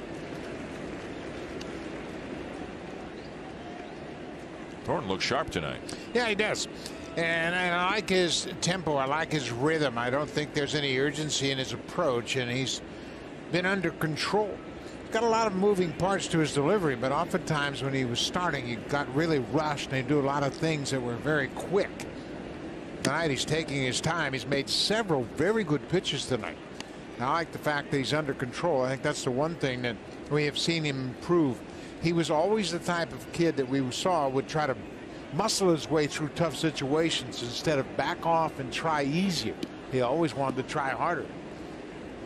And sometimes it looked like it just took an extraordinary amount of effort on his part to get out of a couple of jams or to get through those five innings. Sometimes he would sail, but sometimes it was a lot of effort. Yeah, I think he's one of the guys that could back off and pitch at 92, 93 and not always try to reach for 95. And, and I think he'd be much better. I like his stuff. I think his stuff is big league caliber stuff. But I think he's going to learn more about pitching in the major leagues by understanding it's not how hard you throw, it's how well you locate your pitches and how you mix up your pitches. Ground ball to third. Sharp hop up to Guerrero and throw on the money one down. Well, and he does have a lot of pitches. I mean, he throws a fastball. If we look at his numbers, fastball 47% of the time, but he's got a cutter, and we've seen it tonight. He's got a slider. We've seen that. He's got a curveball, and we've seen some good ones tonight. He's got a changeup as well. He's got five pitches. I think the one thing you have to recognize as a starting pitcher, I think being a good quality starting pitcher is the toughest thing in baseball to do because you have to go through a lineup and sometimes you go to the mound and maybe you have two pitches that are working. So you have to be adaptable and flexible and make adjustments. I think it's the hardest thing in baseball to be a good starting pitcher on a regular basis. But Trent's got enough pitches, and what he needs to do is when he goes to the mound, identify the pitches that he has control of and make sure you emphasize those early in the game. curveball for a strike to get Jackie Bradley Jr. started. Now misses high with a fastball, one and one.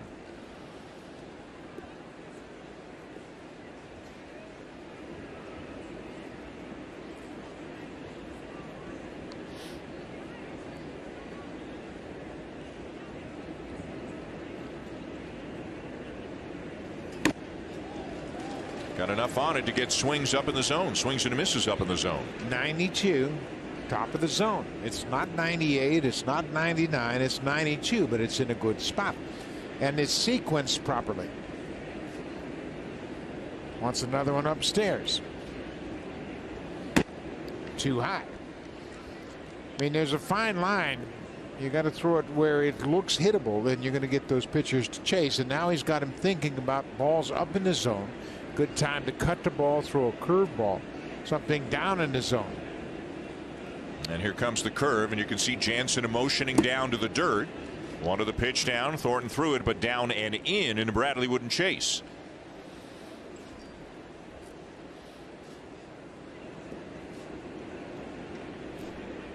I'd throw another curveball right here. Give him another chance to throw that curveball. They're going to go to fastball on three and two. Belted foul down the line.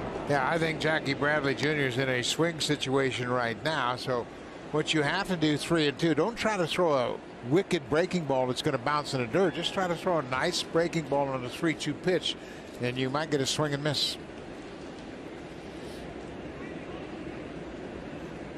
Changeup coming. Got him. Changing speeds, mixing pitches again, and another strikeout for Thornton. Yeah, good job by Danny Jansen. He went right to the changeup, and that'll be four strikeouts now for Trent Thornton. And he doesn't try to make this the best changeup he's ever thrown. It's a 3 2 pitch. All you got to do is get one in the zone, and it's going to be four, five, six miles an hour slower than your fastball, and it disrupts the timing of Jackie Bradley Jr. So two down for Marco Hernandez, the number nine hitter, the first batter that Thornton faced when he came into the game to start the third inning.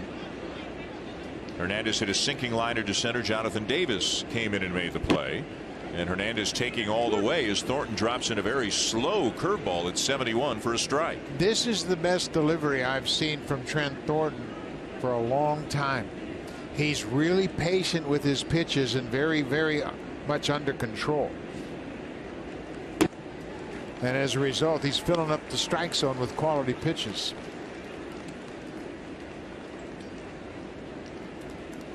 Oh, 2 the count as the Blue Jays go into more of a shift now on Hernandez. Bichette moving to the other side of the bag and a Guerrero moving to in effect the shortstop spot. Got him. Wow. Trent Thornton has got it going tonight. Three hitless innings so far for Thornton. And the Blue Jays will take a lead at the bottom of the fifth. Rivera sets and deals. Strike three. Ball game over. Yankees win. The greatest closer in history now has the most saves in history. 2-0 pitch. Swinging. There it is. Here comes Ausmus. The start and tied. Mitch wants to make it a double. He didn't get the trademark, but he did get 3,000 hits. High fly ball out into center. Way out of here. Oh, Mago, my goodness. Now a 3-1 for Acuna. Swinging a high fly ball deep to left field. Way, way back. It's gone! The grandest of all home runs. Seattle Mariners, Felix Hernandez, the 2-2. He got him! It's finally happened! A perfect game by a Seattle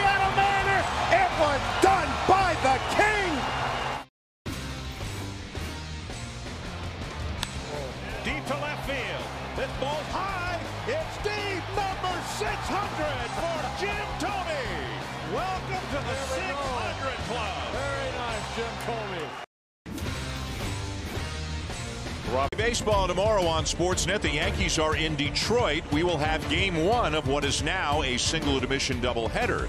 from Comerica. The Yankees and Tigers getting rained out tonight, so that complicates things a little bit for the Yankees, you would think, before they come to Toronto. They've now got to play two games in Detroit. We'll get in here a little bit later, may change their pitching plans over the weekend a little bit. The Yankees and Astros in quite a battle for the best record in the American League. Both are 95 and 51 entering play tonight. Yankees rained out. Oakland and Houston scoreless in the second. Brandon Drury sends a fly ball to right field and right at the edge of the warning track. Brock Holt is there to haul it in one down. Then on August 4th, the New York Yankees were 31 home runs behind the Minnesota Twins. Now they are tied. The Yankees have come on like gangbusters and you know, last night they had six home runs and they didn't have Judge, they didn't have LeMahieu, and no Voit, and no Stanton, of course. But the Yankees have hit 276 home runs. The Tigers, who they're playing that doubleheader, have hit 134. Wow. and whoever hits the most home runs, that's a fair ball, and it hits the umpire. Stu Sherwater bounces out to the shortstop. And Xander Bogaerts, that'll be a base hit for Danny Jansen. And now they're booing the umpire. And he's Canadian, folks. Give him a break. But they're booing Scheurwater because if he can get out of the way, that's probably a double for Jansen. Absolutely. And because it's behind the infielders, it's a in-play situation. That ball hits on the foul line, then hits the umpire. And Scheurwater made the right call. He calls it fair kicks up the chalk on the dirt and Scheurwater can't get out of the way of it. And you're right, that would have been a double right down the line. And there's the chalk you can see, and then Scheurwater wow. gets hit in the leg. I'll tell you, that was a heck of an effort just keeping his feet and making the the fair call as quickly as he did. You can't ask a lot more out of him. That ball's coming at him fast. I mean, booing a guy when he gets hit by a ball hit that hard. You talk about adding insult to injury. But they don't know he's Canadian. Yeah. He's going to get it from a lot of his pals yeah. out west, though. Yeah. a lot of people in Saskatchewan texting him right now. Bichette with a soft liner that drops into left field for a base hit. Jansen up to second.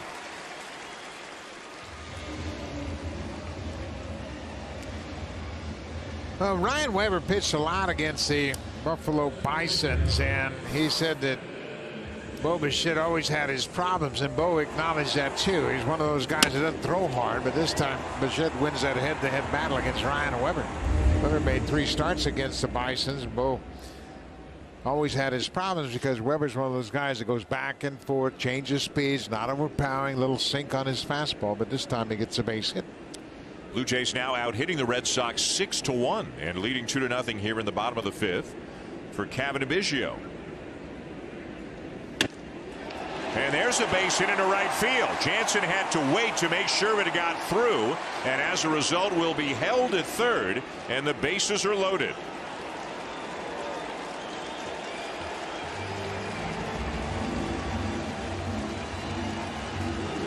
And here comes Dana LeVangie, the pitching coach for the Red Sox. Funny game. Uh, credited with a double on a pop up that Devers kind of overran down the left field line. And now smokes the ball into right field for a base hit. Now is out to have a chat with Ryan Weber looking at his scatter report as the bullpen. Brian Johnson getting loose. Johnson pitched in the game last night, just a third of an inning, gave up a hit and had a walk. Weber made a start against the Buffalo Bisons on April 8th. And Bo Bichette, Cavan Biggio, Reese McGuire were all in the lineup, so they know what they're dealing with. And Bichette and Biggio both have hits in this inning against Ryan Weber. And what a great opportunity here for Vladimir Guerrero Jr. A pop up and a sac fly tonight. And he's up there with the bases loaded and one out. Trying to break it open here in the fifth. Base hit into left field. Jansen in to score. Bichette getting the wave. The throw is not in time. And both other runners will advance. It's second and third, and it's 4 nothing Blue Jays.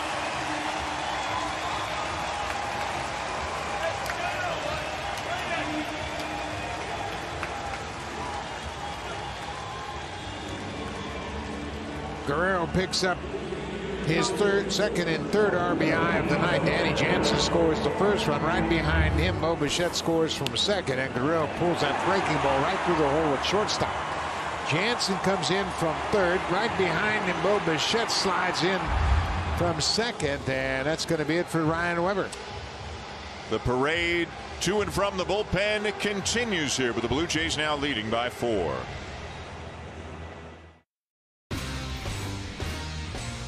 On the run is Laureano, and he makes the catch.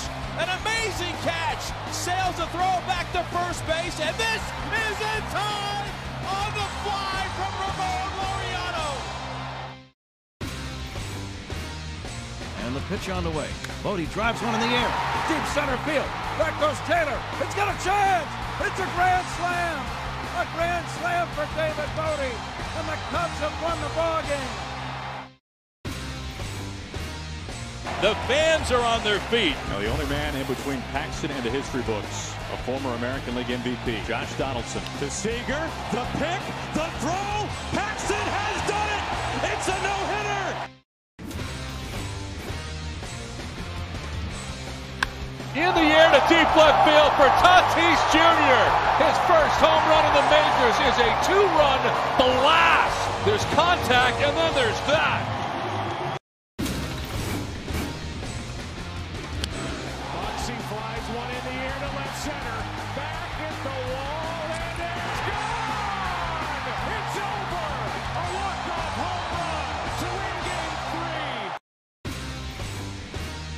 Two on, two out. 10th inning.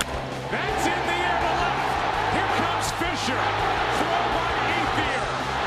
Astros win it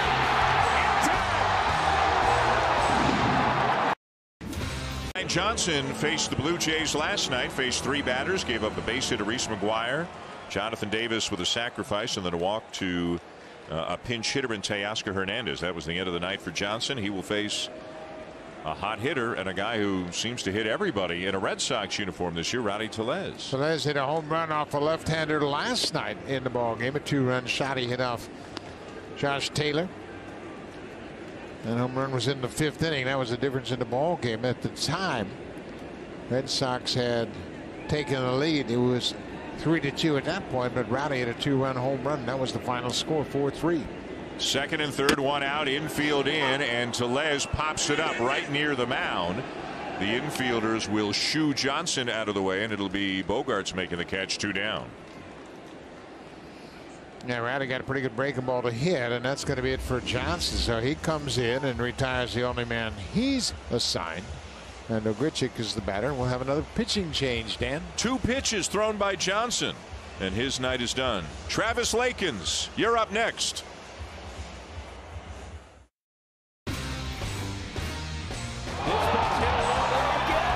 That's number 30. Where will this one land? Come close again. Are you kidding me? Those aren't just home runs. Those are moon shots. Looking for hit number one from Franchy Cordero. He struck it out. The Dodgers have thrown a combined no-hitter. And on the 13th and final strikeout of the game. Here's the pitch. Swinging a hard hit ball inside third, base hit down the left field line. Mazara gets to third. Adrian going to second. He's got a double for 3,000. 949 now in Atlanta, 649 in Arizona. And a 2-2 to Perez. Swing and a miss, and Randy Johnson has thrown a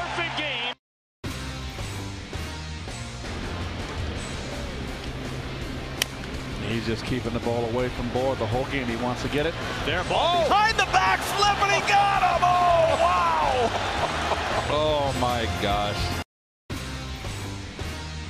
Ichiro to right and deep. Back goes Parra, and it's off the wall. 3,000 is in right field, and Ichiro is racing for third. And he's done it. The next pitcher, the fifth pitcher of the night already for the Red Sox, is right-hander Travis Lakins. Lakins is 25 years old. He was a six-round pick of the Red Sox in 2015 out of Ohio State. He's one of those guys, Dan, that's been called up five times this season. And he has been back and forth. He pitched against the Jays here on May 23rd after Ryan Weber start. So he is following Ryan Weber this time in relief. Blue Jays with four runs on eight hits in this game, leading four to nothing. Runners at second and third, two down for Randal Grichuk. Grichuk had a base hit his last time up, one for two, as he drives the ball to deep right field. Holt's going back. It's over his head and off the wall. Two more runs will come in to score on a double by Grichuk, and it is six to nothing.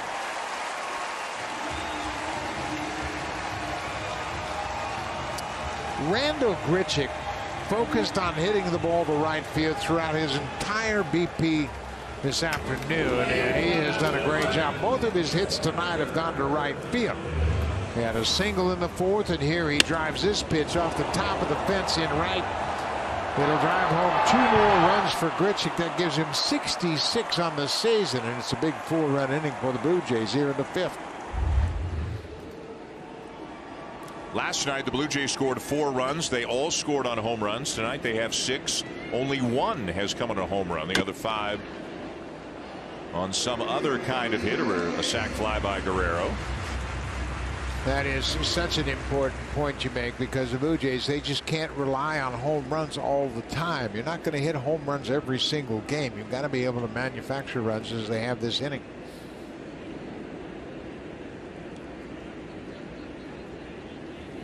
Coming into this game, the Blue Jays had scored 340 of their 631 runs on home runs, which is 53.9%. That'd be the highest rate in Major League history. And they have the record 53.1% back in 2010. But you got to have more than just home runs. One and one, the count on Teoscar Hernandez. Good slider there over the outside corner, one and two. The Red Sox nine games out of a playoff spot with 17 games to go. So basically the die has been cast and they're they'd have to pass two teams to make the playoffs. It has been a disappointing year, a year where Alex Cora kept saying it's okay, we're going to get there. I feel it. And they had a little streak here, a little streak there, but never could really get on a sustained roll. And Tampa Bay, Oakland, and Cleveland look like it'll be two of those three who will be the wild cards this year. You will never get anybody associated with the Red Sox to admit it, but I think this all began in spring training. I just think they put too much emphasis on resting, saying, hey, we played late into the season. We don't want our guys to play a lot in spring training, and they just never got off to a good start, especially their starting pitchers. They didn't pitch much. The only guy that pitched much in spring training was Eduardo Rodriguez, and he's got 17 wins.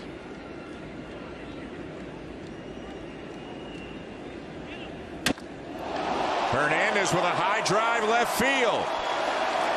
And the beat goes on for the Blue Jays here in the fifth inning. It is eight to nothing.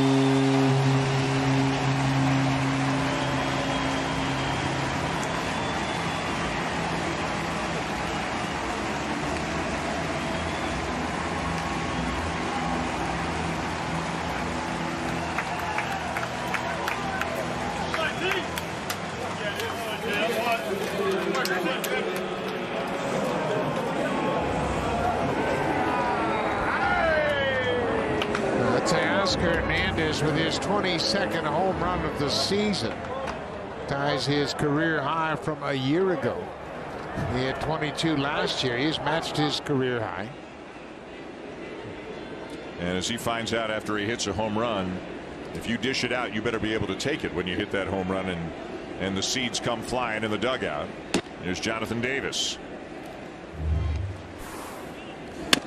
There's no question about Teoscar's power, and he's got big time power. When he squares it up, it goes a long way, and he just hasn't been able to put together consistent at bats. But he now has 22 home runs, 55 RBIs. And somebody tonight, Buck, is going to hit a home run into baseball that will establish a new all time major league record for most home runs in a season. Teoscar just hit home run number 6,101. In baseball this year. That is five away from setting a new major league record. Yeah, at the start of play tonight, baseball needed 21 home runs to tie the record that was set in 2017. And obviously, going to hit many more home runs tonight. Teoscar now is also just two RBIs away from tying his career high in ribbies 57. Well, I'll tell you, for a team that came into this series having lost seven in a row, you know, they eke out a win barely last night. They bring out the bats tonight, and, and this is a young team, even with all these young players. They're very aware of who they're playing, how good the teams are that they're playing Atlanta, Tampa Bay, the Yankees. Red Sox still a good team, even though it doesn't look like they're going to the playoffs. And they've been in a lot of games, but they have not been able to win a lot of games in recent weeks. There's strike three call to win the inning, but so far so good here tonight. A six run fifth and an 8 nothing lead at the end of five, including home run number 22 on the season for Teoscar Hernandez.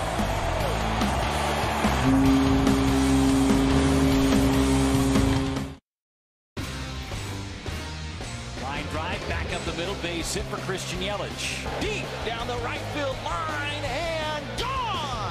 Yelich comes through again. It's a cycle for Christian Yelich. Bone looking for his first hit of the year. He oh. drives one deep left field. That goes Upton. Back near the wall. It's out of here. Bartolo has done it. The impossible has happened.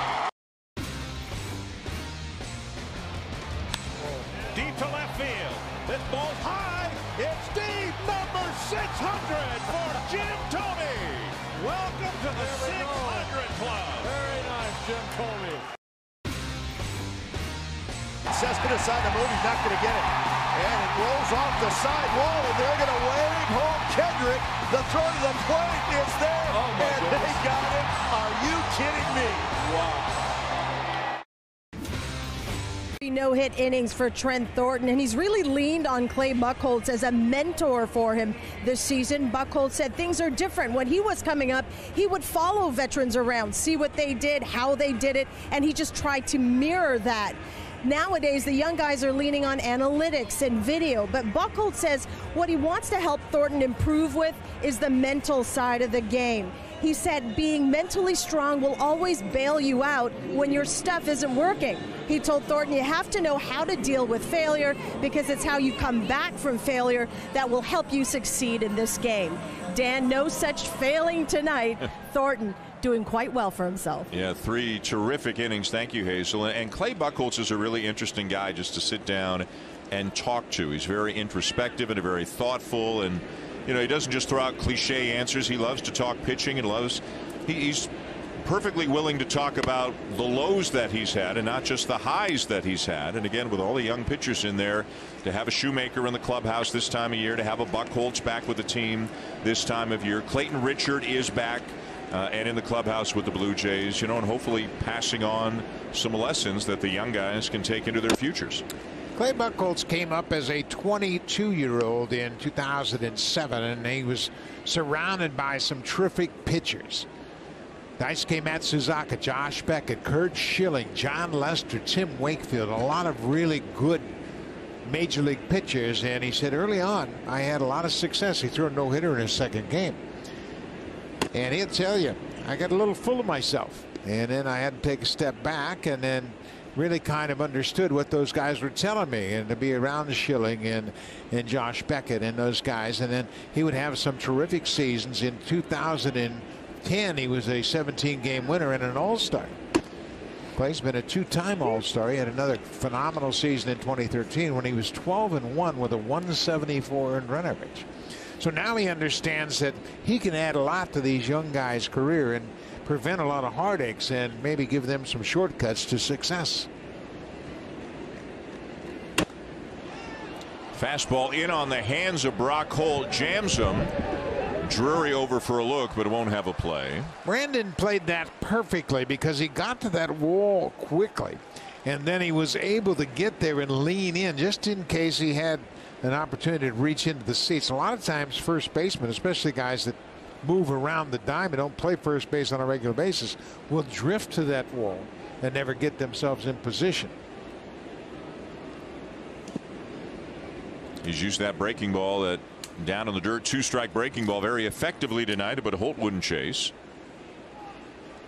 You know, Clay Buchholz back to him for a second. He's on the mound tomorrow night in the last game of this series. Clay's now 35 years of age. And, you know, if he can finish off September healthy, feel good about himself, I would think he might be interested in continuing to pitch beyond this year. Last year, he was very good with Arizona, albeit in, in about a half of a season. This year, injuries interrupting his season as well. But you know, if he stays healthy, he still looks like he can go out there and he's not going to overpower people at this point, but he can finesse his way through a lineup. Yeah, I think when the Blue Jays signed Buchholz and they had Clayton Richard, they kind of felt like we have two guys that might be able to give us a half a season each. And they could patch together one spot in the rotation with two veterans. And that really didn't play out. But you mentioned last year he was 7 and 2 with a 201 earned run average in the National League, mind you. But he made 16 starts.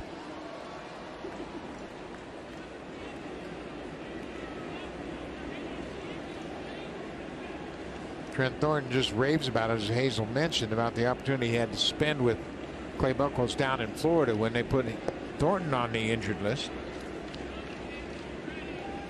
Again, the 3 2 to Brock Holt. And he golfs it to center field. Lots of room out there as Jonathan Davis now comes in and makes the play. This is another great example of a well placed fastball on a 3 2 count in a lopsided game where the hitter knows you're going to get a fastball and he still got it in a good spot and got the pop up. This is the best we've seen Thornton in a couple of months. Yeah, no question about it. Xander Bogaerts a ground out and a walk.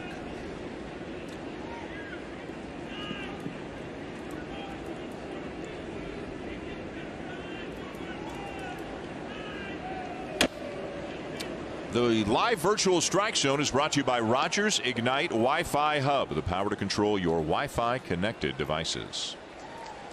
You know, it feels like the Red Sox, as we've discussed a little bit over the last couple of nights, are about to enter a transitional phase. They just fired their president, Dave Dombrowski.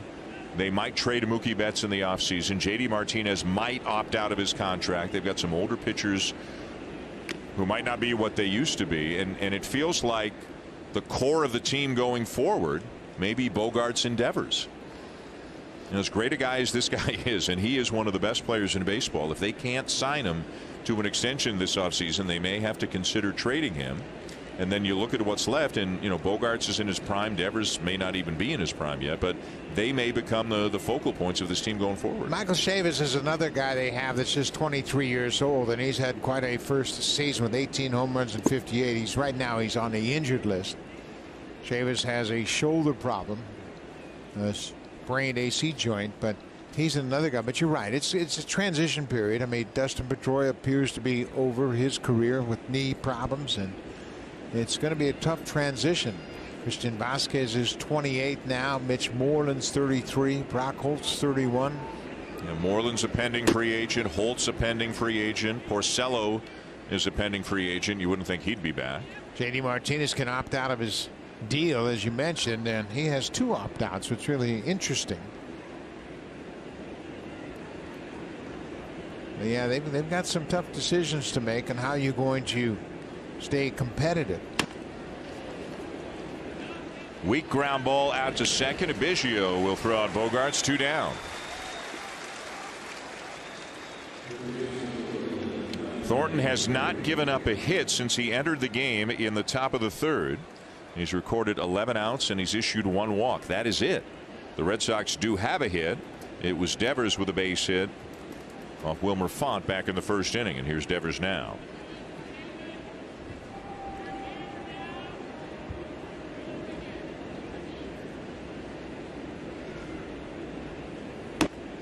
There's the cutter and it misses inside ball one. You, mentioned those numbers, and that's impressive just standing alone. But when you consider how hard the Red Sox hit him before, it's doubly impressive. And he has just been so much under control. I mean, even when he's looking in for a sign, you can see that he's relaxed and he's really kind of enjoying this outing tonight. And it, it's a good step for Trent Thornton. I think this outing, no matter what happens from this point forward, will go a long way as to far as saying, Trent, this is how you need to pitch. This is what you need to do. Just this effort level right here is perfect. If he keeps taking the ball every five or six days, he would have either two, maybe more likely three more appearances before the end of the season.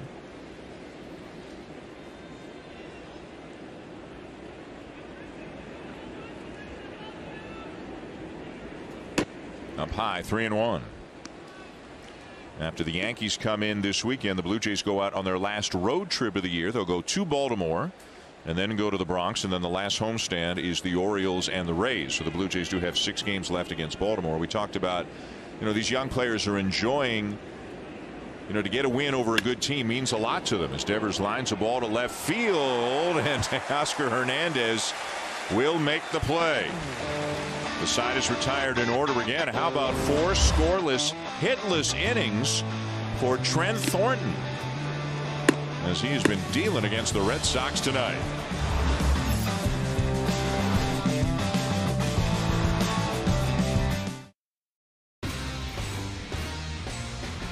Yelich knocks one to the gap in right center.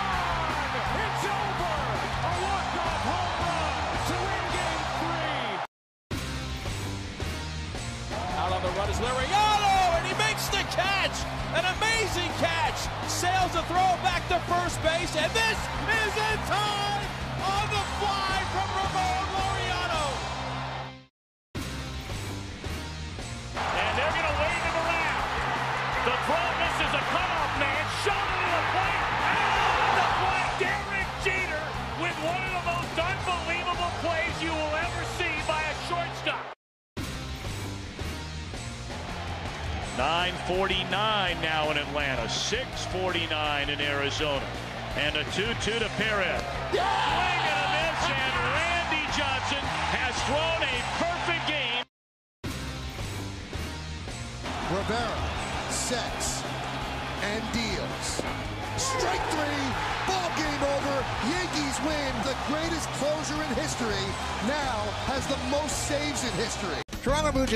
baseball is always live with MLB at Bat. Follow the action with game tracking and video highlights, along with up-to-the-moment stats, standings, breaking news, and more. Download MLB at Bat today. It's your number one app for Toronto Blue Jays baseball. They're running out of time for Toronto Blue Jays baseball. The season is winding down. Next to last homestand for the Blue Jays, and so far so good. A win over the Red Sox last night, a comfortable lead right now, and yet another pitcher coming in from the Boston bullpen. This is Hector Velazquez. Hector Velazquez has had an interesting season, up and down. This is his 30th appearance. Velazquez is from Mexico. He signed as a free agent with the Red Sox in February of 2017.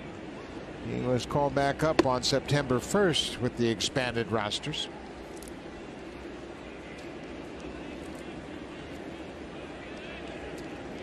Brandon Drury leads it off for the Blue Jays. Drury tonight has struck out and flied out. Eight runs on 10 hits for the Blue Jays tonight. Rowdy Tellez is homered. Teoscar Hernandez is homered. Randal Grichuk's got two hits, two RBIs.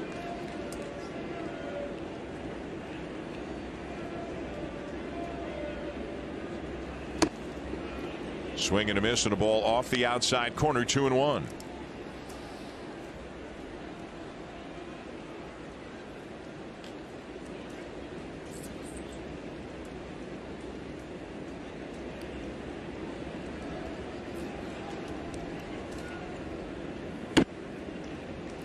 After Drury, it'll be Danny Jansen who's on deck, and then you saw Bo Bichette getting ready for his fourth at bat of the night.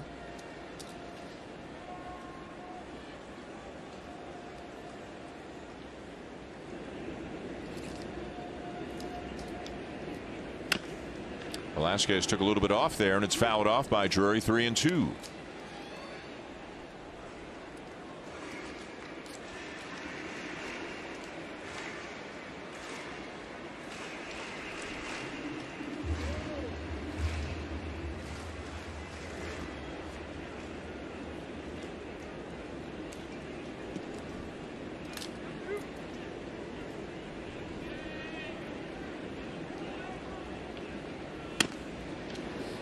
Bouncer foul past Luis Rivera, the third base coach down the line. Bobby Poyner started for the Red Sox, went a couple of innings, and it's been a, a procession of relievers ever since. And they got a ton of pitchers, September call ups, and so forth. There's a souvenir. There's a happy fan. I don't know how good a night you had, but I can tell you I had a better night because I got a ball at a baseball game. Absolutely. Yeah, ball four to Drury.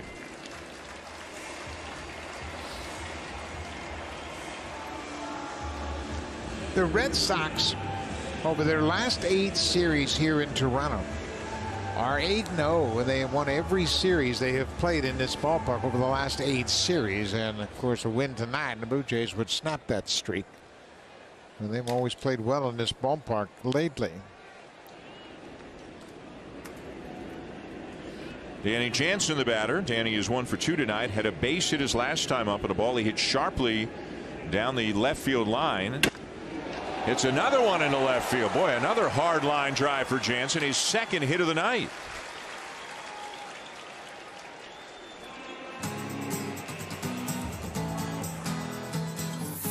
It's the confidence we get when we come together for our team. TD, proud fan and official bank of the Toronto Blue Jays.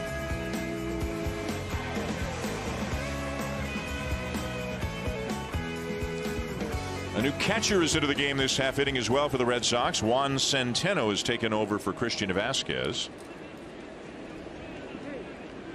And Bo Bichette is up for the fourth time. Bo was one for three, singled and scored last inning when the Blue Jays broke it open with six runs in the bottom of the fifth.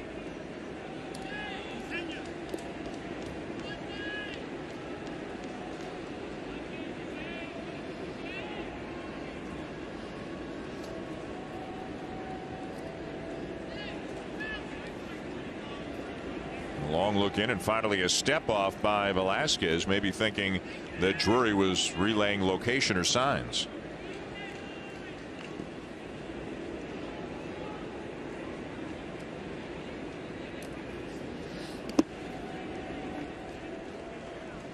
Centeno and Velazquez are going to talk things over. I just don't think they're on the same page with the signs. That Centeno has just taken over. Centeno has had some time with the Houston Astros, and he and Cora were together with the Astros a couple of years ago. And he is in to take over for the starting catcher, Christian Vazquez. Rest of the night off for Vazquez. 8 nothing Blue Jays bottom six, and they're at it again. First and second, nobody out. And look at those numbers. Taking advantage of their opportunities. Five for seven with runners in scoring position tonight. 11 hits in the game overall. Down the right field line, foul and out of play.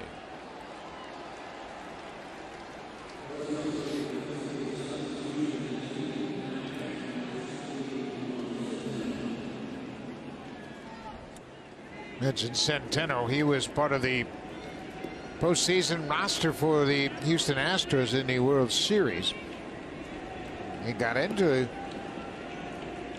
the division series, but did not play in the league championship series nor the World Series in 2018. That's a fair ball. Terrific play by Devers for one and two. A bit of a late call over at first by Chris Segal. What a nice play by Devers. Yeah, he had to change directions and got enough momentum. He stepped on the bag and fired across the diamond in time, according to the first base umpire. But watch the momentum change. Going away, has to stop, come across the bag, and fires to Moreland over at first. Blue Jays aren't going to challenge the play as Devers gathers, steps on the bag for the force out, and then completes the double play. Good stretch by Moreland at first. So runner at second, two down after that play.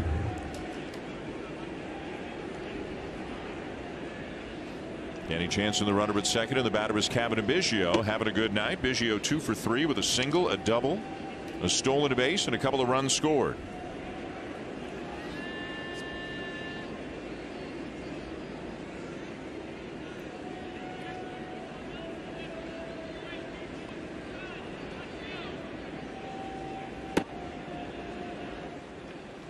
He just seems we talked about his walk percentage and we've talked about it all season.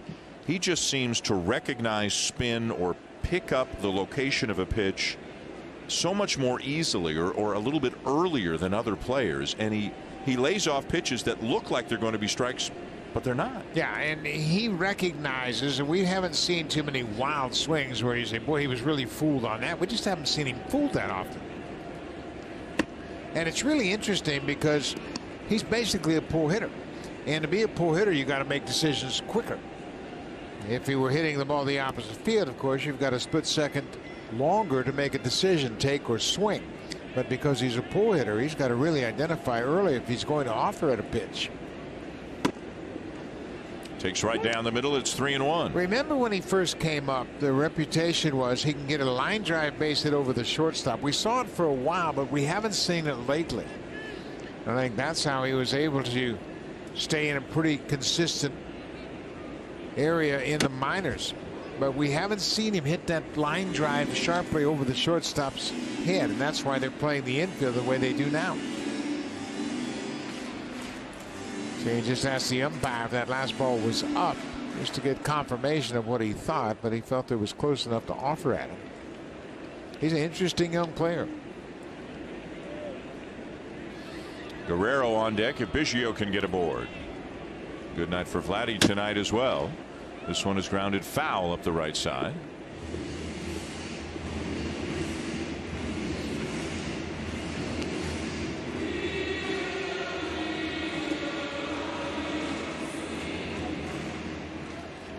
Marcus Semien has hit a home run for Oakland. That is home run number 6,105 on the season. That has tied the major league record. So with two and a half weeks to go, whoever hits the next home run, it will establish a new record. Home run records dropping like flies here in 2019. Inside and yet another walk for Biggio. Cameron had two walks in last night's game along with a home run. He finished up that game one for three with two runs scored. He's been on base three of the four times he's come to the plate again tonight. And that's what you like to see at this point of the season, just consistent at bats, and that's what we're getting from Biggio. Coming into the game, Buck, the top three guys who are the, the three rookies that everybody talks about. Bichette's on base percentage is was 343 at the beginning of the game. Biggio was 346. Guerrero was 348. And I think there's room for improvement on all three of those. But those are some pretty good numbers. They're all significantly better than the team average. This is not a good on base percentage team. Those three guys getting on base at the top of the order is unbelievably important to the offense of this club. Yeah, especially where they're hitting in the lineup, as you mentioned. When they get on base, the Blue Jays are going to score some runs. And of course, that does not include the bat of Lourdes Gurriel Jr., who's going to be a very important part of this team as well. But the Blue Jays, as a team, started play tonight with a 302 on base percentage.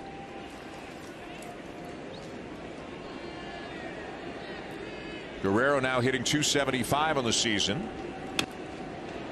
Big cut there as he fouls it back. Vladdy is one for two. He's driven in three runs tonight.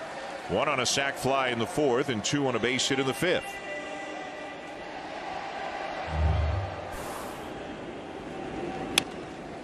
Uh, another good pitch he got to hit. That breaking ball just sat up there in the middle of the hitting zone and said hit me, but he fouled it straight back.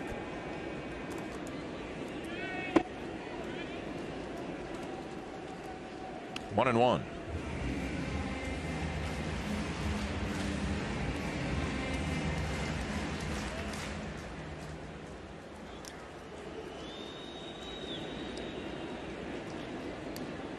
Jonathan Davis, you see him, you always see him talking to one of the guys that he likely spent a lot of time at Buffalo with this year. They are rooting for him, his teammates. As Guerrero, good take there. Two balls and a strike. They, they know he's a little bit older. They know he hasn't had many chances. Remember when he got his first hit earlier this season, how excited everybody was? There, there are guys rooting for him. Yeah, and you know what? He, he comes in here. He wants to be a good teammate. Wants to do a lot of things to help his ball club, and he does it with defense. And now he'd like to be a little more consistent with the bat.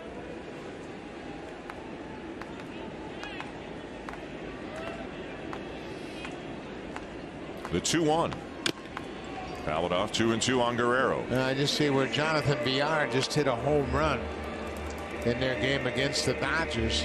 Not sure what home run number that is, but for Villar, it's given the Orioles a 5-2 lead for Villar. Individually, that's his 21st home run. That is the record. That's 6,106 on the season, all-time single season record. I would think every team has probably set some sort of home run record or had a couple of its players uh, you know set some sort of a record. You, you just personal records it's yeah, crazy. Season highs yeah. and all those things. Consecutive games I rookies tell you one team most that's in a not going to set a home run record the Detroit Tigers. Mm -hmm. that's been a long year for Ron Gardenhire and company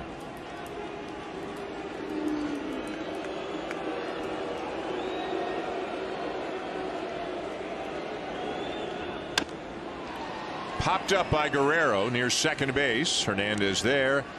And the inning is over. Blue Jays will leave a couple of men on. 8 0 at the end of six.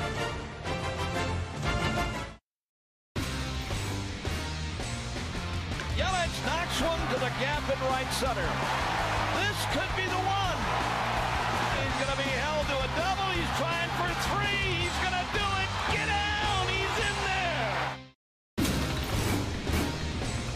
3 1 for Acuna. Swinging a high fly ball, deep to left field, way, way back. It's gone—the grandest of all home runs. Ichiro to right and deep. Back goes Parra, and it's off the wall! 3,000 is in right field, and Ichiro is racing for third! And he's done it! Robinson Cano in his Mets debut. Sox one out to center. Back goes Robles into the gap to the warning track at the wall, and it's out of here. Robinson Cano goes deep in his first at bat as a New York Met. Here's the pitch. Swinging a hard hit ball inside third, base hit down the left field line. Mazara gets the third. Adrian going to second. He's got a double for 3,000. 949 now in Atlanta, 649 in Arizona. And a 2-2 to Perez. Yeah! Swing and a miss, and Randy Johnson has thrown a perfect game. Shell season is right around the corner. Don't miss some preseason action between the Flames and the Canucks. Monday night, 10 o'clock Eastern, 7 Pacific on Sportsnet 1. Meanwhile, here at the ballpark, the Blue Jays enjoying an 8 to nothing lead in four outstanding hitless innings tonight from Trent Thornton.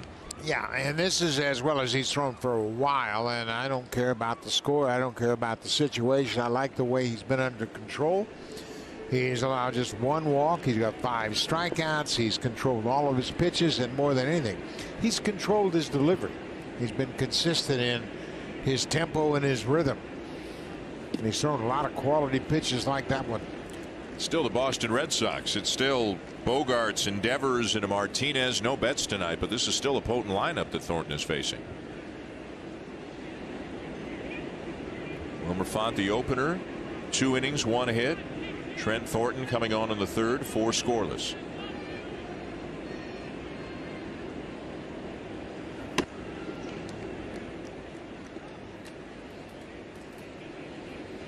Little milling about, but nobody throwing in the Blue Jay bullpen right now. Mookie Betts getting the night off. Brock Holt getting the start in right field for the Red Sox.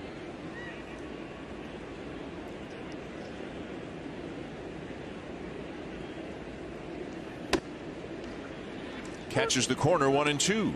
When a catcher is handling a pitcher the way that Trent Thornton is throwing tonight, it's really a lot of fun because Danny Jansen understands that Thornton has thrown all of his pitches for strikes, so you can really mix and match. It's not like you have to search for a pitch he can throw over. He's been really in charge with all of his pitches, and the results have been six strikeouts now.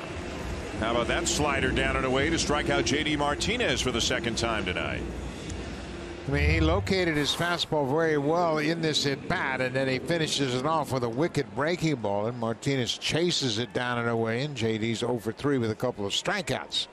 Thornton has punched him out twice in this ball game.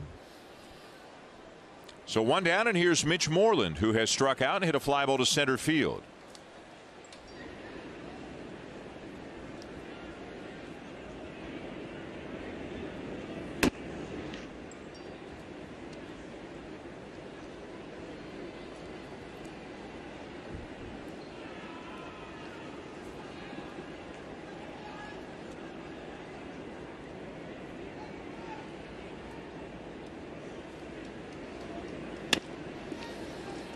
Roller out to Biggio. Worked on that throw for a long time before the game today, and it's coming in handy. He's been making a lot of those the last couple of nights. Yeah, he sure has. And uh, to a man, this young infield has worked hard here in the second half of the season. And it's kind of a competition. They come out and they all take ground balls together and they all work very hard. And it's an up tempo, upbeat kind of workout. And I think, too, it's a subtle mix of fielding drills and conditioning at the same time because it is rapid fire. A changeup in for a strike to Andrew Benintendi. There's the guy in charge of the infielders. He's done a terrific job with this young infield. Doing a great job of getting them out here, addressing certain issues whenever they pop up.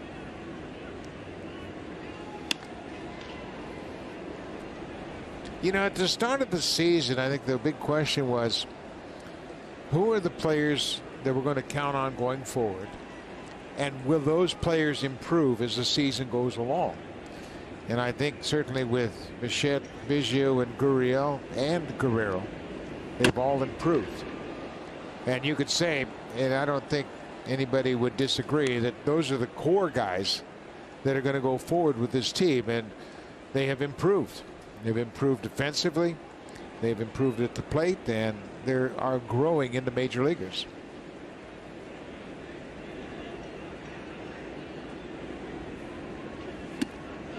Another strikeout. Five hitless innings for Trent Thornton tonight with seven strikeouts. Frustration for the Red Sox. And what an outing by Trent Thornton has been as sharp as he has been all season.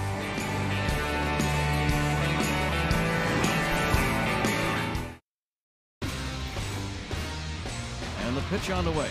Bote drives one in the air. Deep center field. Back goes Taylor. It's got a chance. It's a grand slam. A grand slam for David Bote. And the Cubs have won the ball game.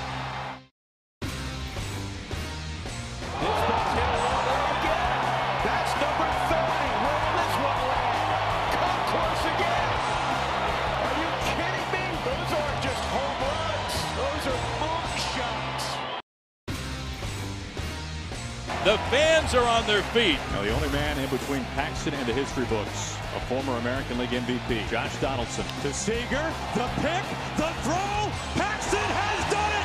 It's a no-hitter. Fly ball out into center. Way out of here. Oh, Boggle, my goodness. Pitch on the way. Swing and a miss. He struck him out. Verlander has done it again. The second no-hitter in his young career.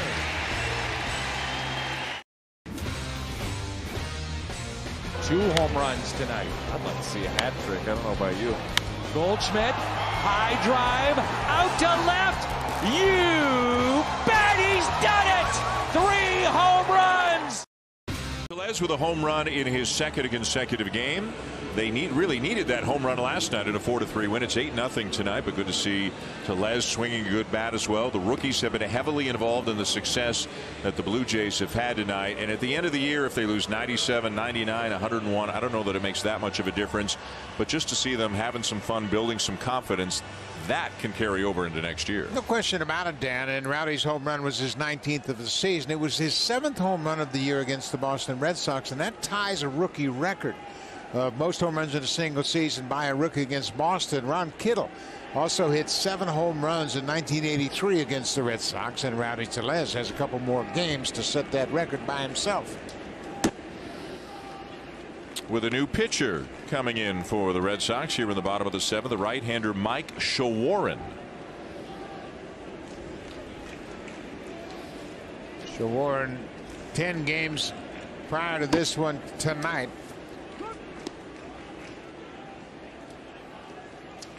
And we got Sam Travis in at first base for the Red Sox as well. As Alex Cora starting to empty his bench a little bit. 8 nothing bottom seven. Shawaryn pitched against the Blue Jays on the 22nd of June in an 8-7 loss, and he gave up back-to-back home runs to Freddie Galvis and Rowdy Tellez.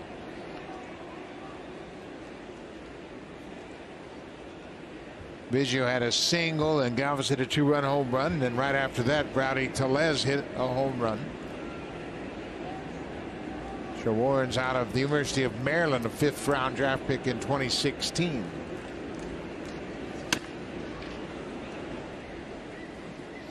After Tellez, scheduled are Randal Grichuk and Teoscar Hernandez. Eight runs on 11 hits, one error for the Blue Jays, no runs, one hit, and one error for the Red Sox. An error was after the fact assessed to the right fielder Brock Holt on that throw home that bounced up and hit uh, Christian Vazquez, allowing a runner to advance to second on the play. Swing and a miss at a ball up and out of the zone. Tellez strikes out one down. That high fastball from Shawaryn does the trick on Tellez. Rowdy strikes out for a second time, but now he's got 19 home runs, just one shy of becoming another 20 home run hitter in the big leagues.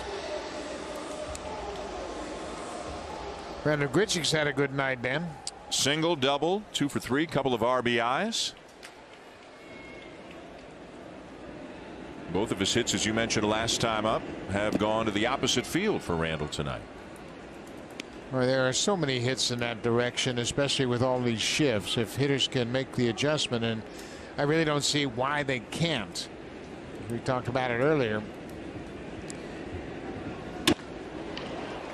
Fly ball to left field, playable, and Benintendi is there. Grichuk retired, two down.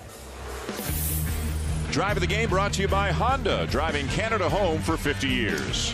Back in the fifth inning with a man at second base, Teoscar Hernandez connects against Travis Lakins and hits a two-run home run. It's a milestone home run as it gives Teoscar 22 for the season that ties his career high set last year. And it gives him a sunflower seed bath in the dugout.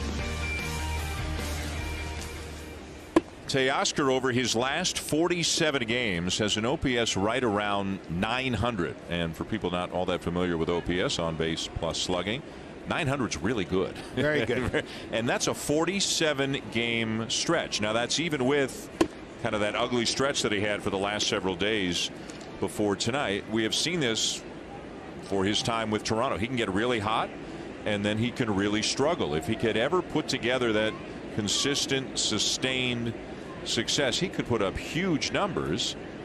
But again like a Rowdy Tellez there are highs and lows and peaks and valleys. Little chopper that is a fair ball. And the catcher Centeno will throw out Teoscar to end the inning as the Blue Jays go in order. 8 nothing Jays at the end of seven.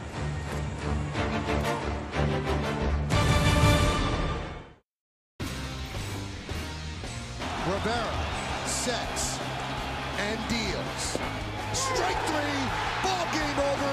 Yankees win. The greatest closer in history now has the most saves in history. Two on, two out. 10 Bennett. That's in the air to left. Here comes Fisher. Throw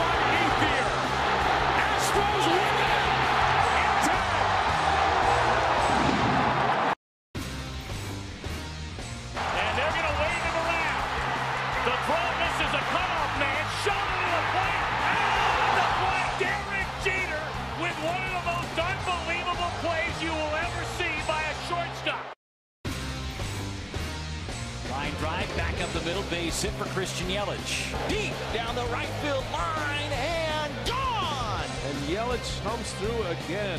It's a cycle for Christian Yelich. Seattle Mariners, Felix Hernandez, the 2-2. He got him! It's finally happened! A perfect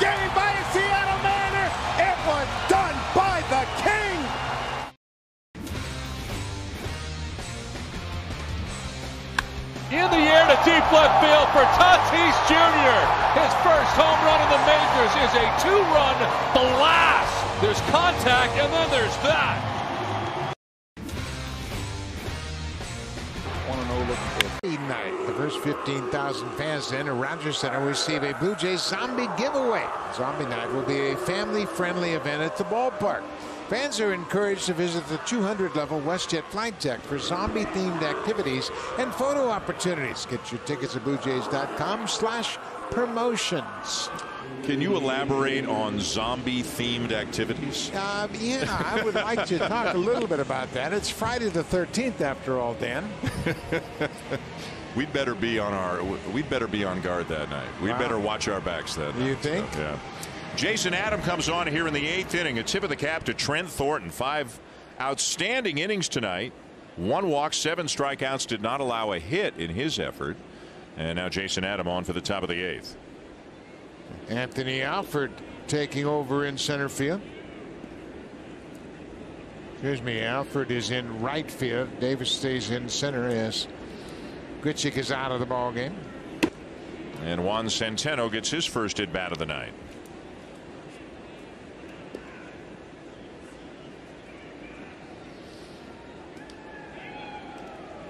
The Red Sox with just one hit in the game, a first inning single by Rafael Devers.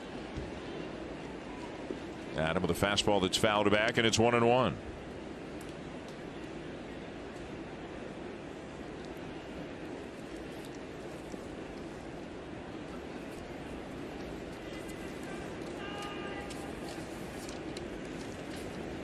So don't know that Alford will get an at bat in this game. The Blue Jays would have to have a very productive bottom of the eighth inning for him to get a chance to swing the bat. He does get in uh, for an inning or two of defense here. Has not been playing a ton. And again, there's a glut of outfielders right now.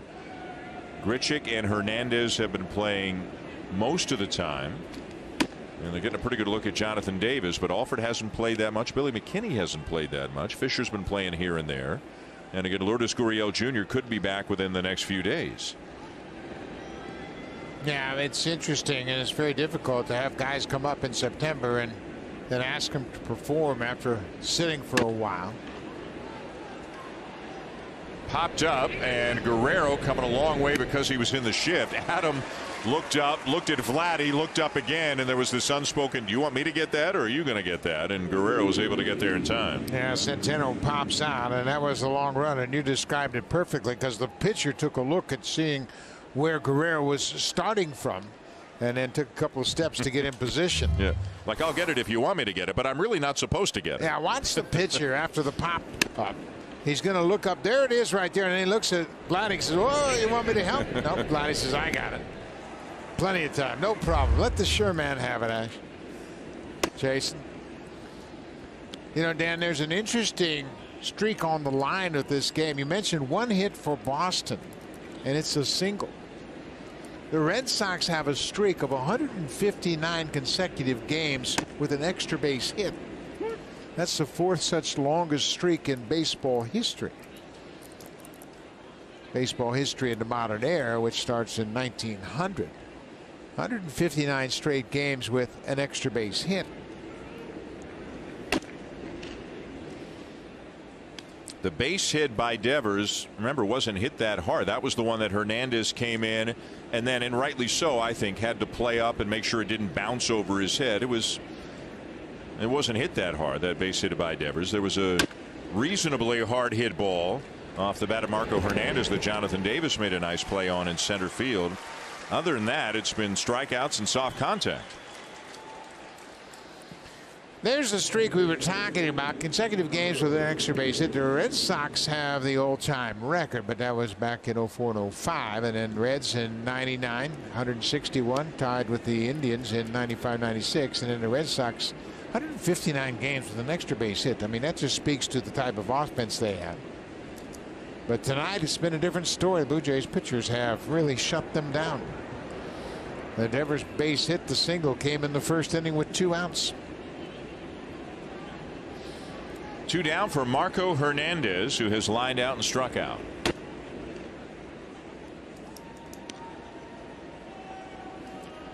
The Jays and Red Sox will wrap up this series tomorrow night. We mentioned Clay Buchholz will get the start for the Blue Jays, and we are expecting Jhoulys Chacin to start for Boston. Although, again, sometimes you don't hear about openers till a couple of hours before game time. Things can change.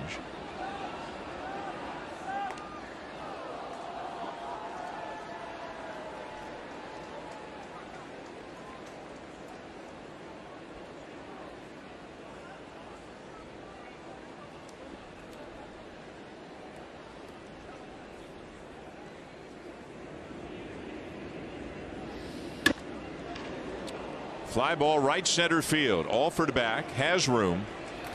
And the side is retired. Three up, three down against Jason Adam. 8 nothing Blue Jays going to bottom eight. Time now for a Blue Jays Central update. Here are Jamie Campbell and Cliff Floyd in the Samsung broadcast studio. 2-0 pitch. Swinging. There it is. Here comes Ausmus. The start and tied.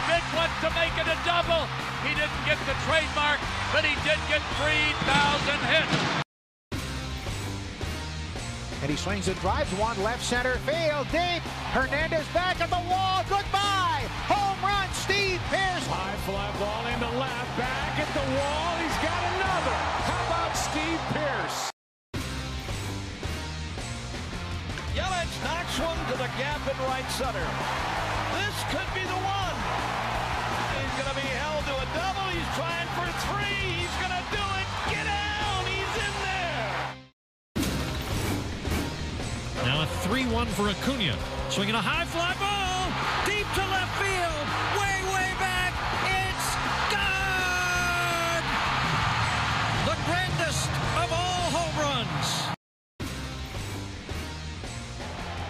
949 now in Atlanta. 649 in Arizona.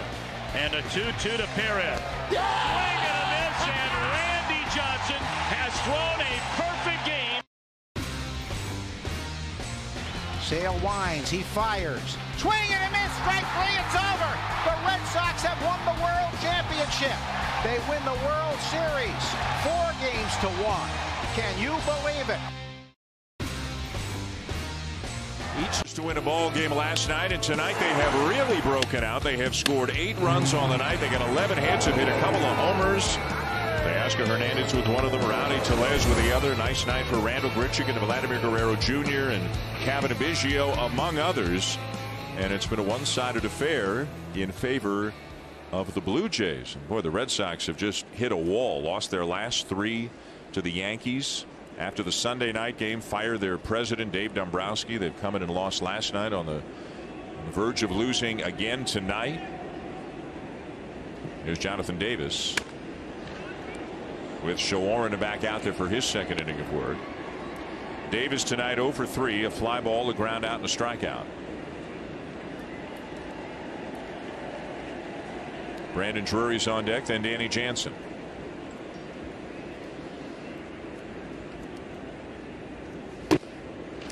You know, Jonathan Davis, you mentioned what he's done at the plate tonight. He may have had a very subtle impact in Trent Thornton's outing tonight because Thornton came into the game. The first batter he faced hit a sinking line drive to center field, and Jonathan Davis made a nice running catch.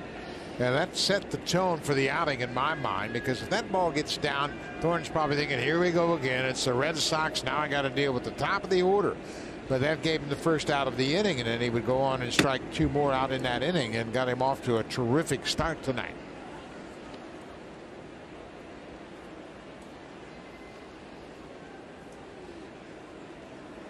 It's fun when you win, isn't it? They're kids. He's 20. You were 20 when you broke into the big leagues, right? Yes. Yeah. Mm-hmm. But it, things weren't as relaxed as they are now. Yeah. Uh, you come up as a rookie then, you just stayed in the corner and you kept your mouth shut. And he came up with such fanfare. I mean, they anointed him a star before he even got here. And, you know, he's going to be a star. There's no question about that. But he's been around it and been exposed to it since the moment he signed. Swing and a miss by Davis. Ball in the dirt. Throw down to first. One down. This copyrighted telecast is presented by authority of Rogers Blue Jays Baseball Partnership. And it may not be reproduced or retransmitted in any form. And the accounts and descriptions of this game may not be disseminated without the express written consent of Rogers Blue Jays Baseball Partnership. A lot of smiling today for the home side. It started with a picture day out of the field at about 3:30 this afternoon, and it has continued throughout the evening with the way they have swung the bats and the pitching they have gotten.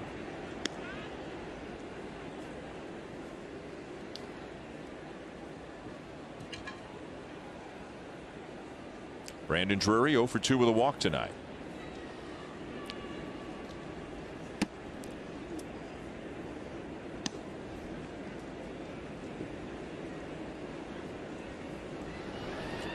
Ryan Tepera will work the ninth inning. You know, almost a forgotten guy because of the injury and how long he's been out. And not that we forget, but had a couple of pretty good years for this team. Oh, he sure did. And, he was a big part of their bullpen. Yeah. Threw a lot of innings. He was consistent. It took him a long time to get his self established in the big leagues, but boy, the last couple of years he's been a terrific part of this bullpen. Yeah, and if you can pencil him back in as a piece for next year, if he's healthy and and in the plans, bullpens are are the most. You know they change more from year to year than any other part of a team, and every general manager will tell you that. Very fluid. Yeah, from year to that year. That was the word I was looking for. Thank you.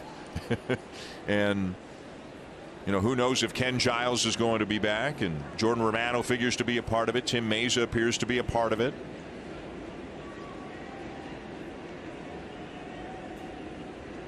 You know, Wilmer Font's come in and although he's been up and down and around the big leagues for a long time, he's not even at arbitration yet. I mean, he's a, a guy without a lot of major league time, whether it's as an opener or a middle guy or whatever. You, I mean, I think there's a really good chance Wilmer Font's back with this yeah, team. I agree with that 100%. And I think Pete Walker deserves an awful lot of credit because he's cleaned up some things in Font's delivery. He was tipping his pitches. Pete did a nice job and got him into a good spot where he's throwing his splitter more. I think Font becomes an important guy going into spring training as far as how they're going to put their bullpen together.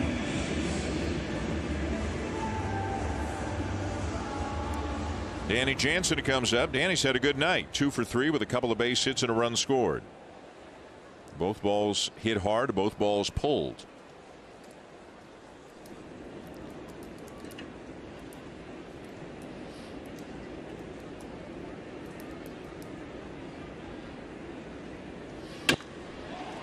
It's another one sharply, but right at the shortstop. And that'll be a tailor made 6-4-3 inning ending double play. To the ninth with the Blue Jays up 8 to nothing.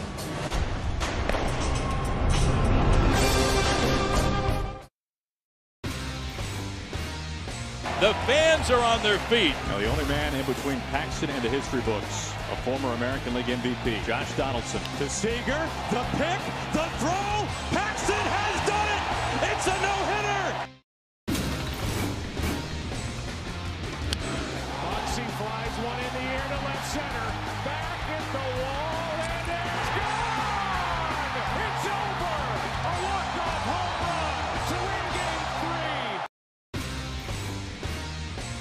That is 50 Cent. Curtis Jackson. Curtis Jackson. And his first pitch was not great. Just a bit outside. That was Curtis Jackson. I don't even like when he comes around. Ever. You know, I don't even want him around here. 50 Cent is the best. Fly ball out into center. Way out of here. Oh, Mago, my goodness.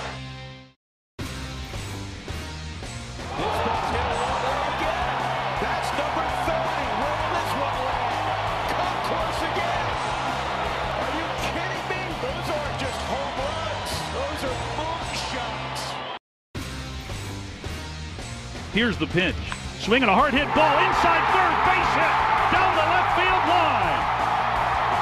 Mazara gets the third. Adrian going to second. He's got a double for 3,000.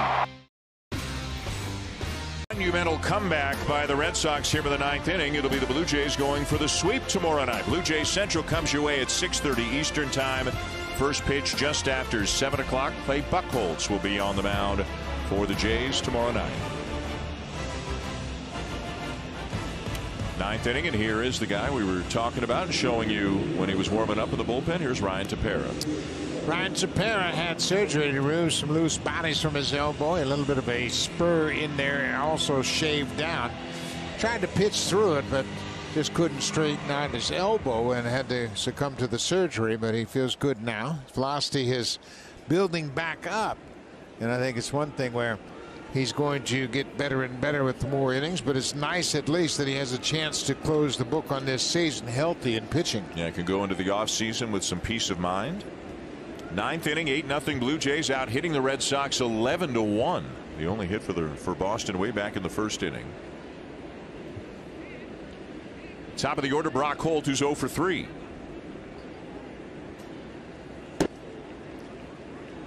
While we can, Trent Thornton, one more note on Thornton, who was just outstanding tonight. Five no hit innings in relief. Trent Thornton ties a franchise record tonight for the longest no hit stint in relief with Roy Lee Jackson.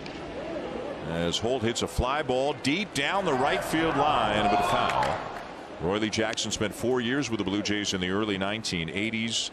And on September the 28th, 1982, went five perfect innings in relief in game two of a doubleheader against Minnesota. In game one of that doubleheader, Jim Clancy took a perfect game into the ninth inning. Randy Bush? Randy Bush.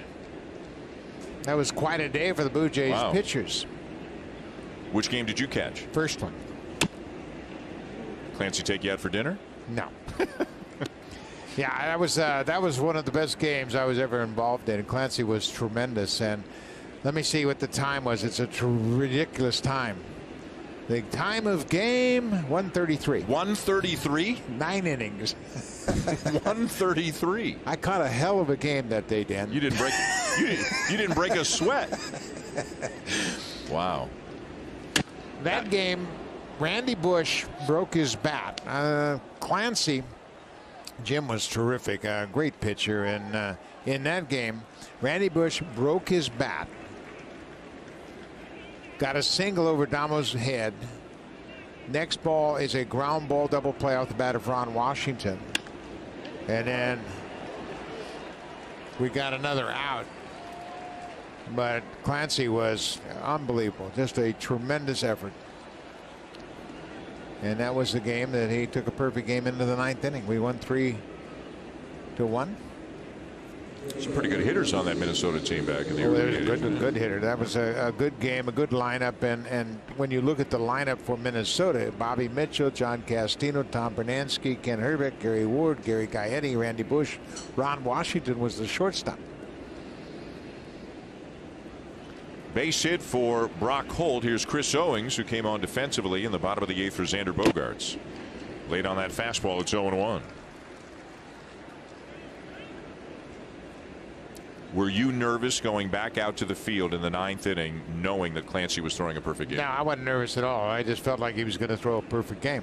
And it was a broken bat little blooper that Dama got turned around on. Damaso Garcia was our second baseman and a very good one.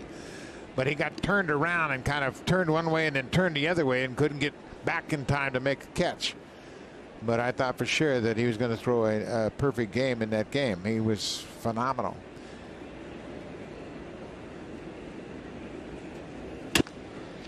Sharply hit to third. Guerrero from his knees to second, on to first, in time. The Blue Jays now an out away, and with a preview of Sportsnet Central, here are Brendan and Evanka.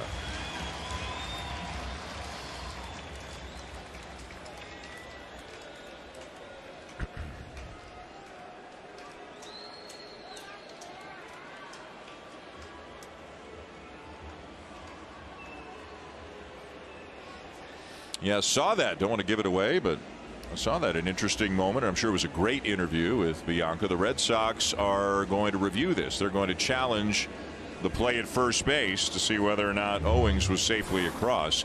How about this? You've talked about the arm strength of Vladdy a lot. That's not an easy play.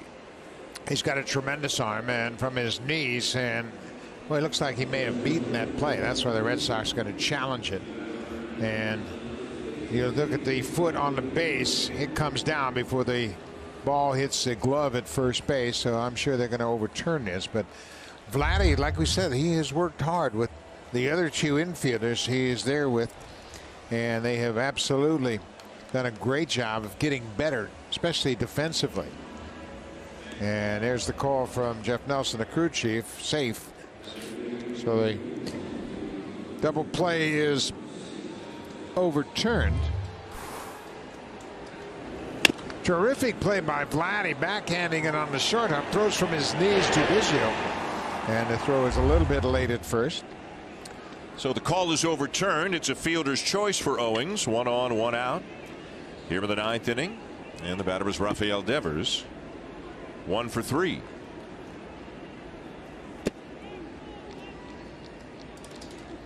Now remember, the Red Sox have that long streak at stake 159 straight games with an extra base hit. Devers has one of the two hits tonight for Boston. Shift on for the Blue Jays with three on the right side against the left hand hitting Devers. He'll take a strike and it's one and one. The win will go to Trent Thornton tonight. Five innings in relief. Wilmer Font worked the first two as the opener. Jason Adam the eighth and out to Tepera on in the ninth.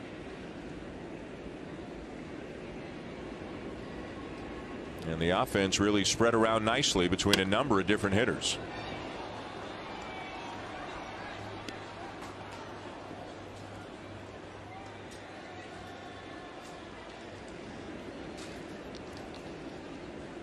I think Rafael Devers talks to himself, whether it's out loud or in his head, more than any other hitter in baseball between pitches. Yeah, and you know what? Other people should start talking to themselves as well. and whatever he's doing is working. Man, he's had a phenomenal season. He has just really blossomed into one of the better players in the game, one of the better hitters for sure. He's got 183 hits now. He leads the majors in extra base hits. And he's 22.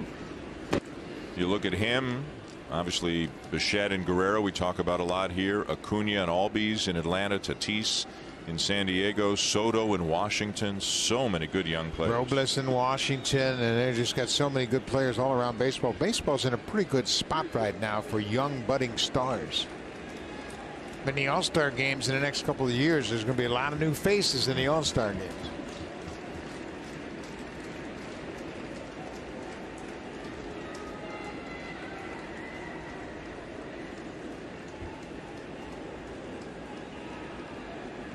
Full count on Devers. There's that Tepera cutter slider inside, and Devers all he could do was fight it off foul. Devers hit his 50th double last night, and he is the ninth. He's the eighth different player to have 50 doubles in franchise history. It's been done nine times. But at 22 years old, he's the franchise youngest player to reach the 50 doubles mark for a season.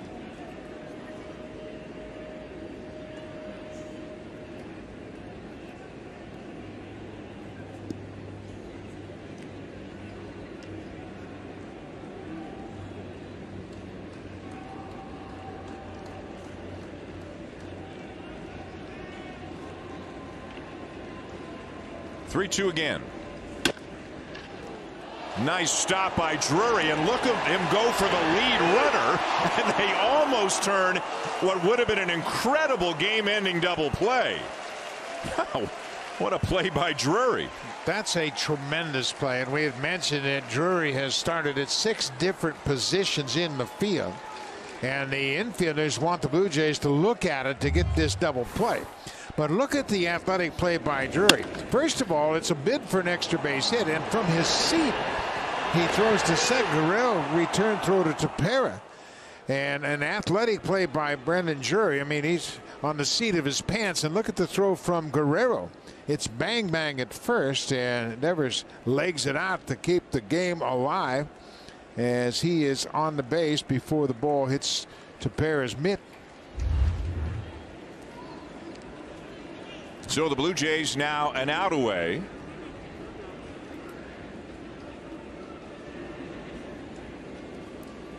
And Alex Cora is going to make a change. Gorkys Hernandez is going to come in to run for Devers. I guess why risk the meal ticket with two down in the ninth inning?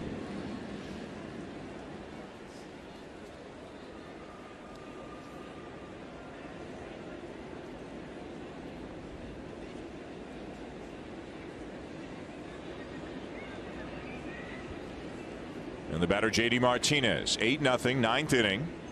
Blue Jays looking to make it two in a row over the Red Sox and there's a breaking ball for a strike.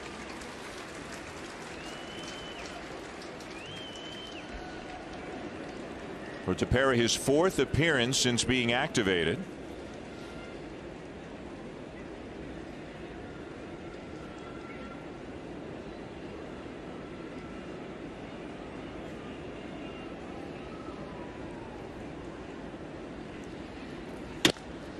Ground ball to short. Charging Bichette. Flip to Biggio, and that's your ball game. A convincing win for the Blue Jays. Got a good work at the plate. Good work on the mound. Good work in the field. A nice victory for the Blue Jays as they beat the Red Sox 8 to nothing. And it snaps a streak of eight straight series wins for Boston here at Rogers Center. And they shut out a very good hit.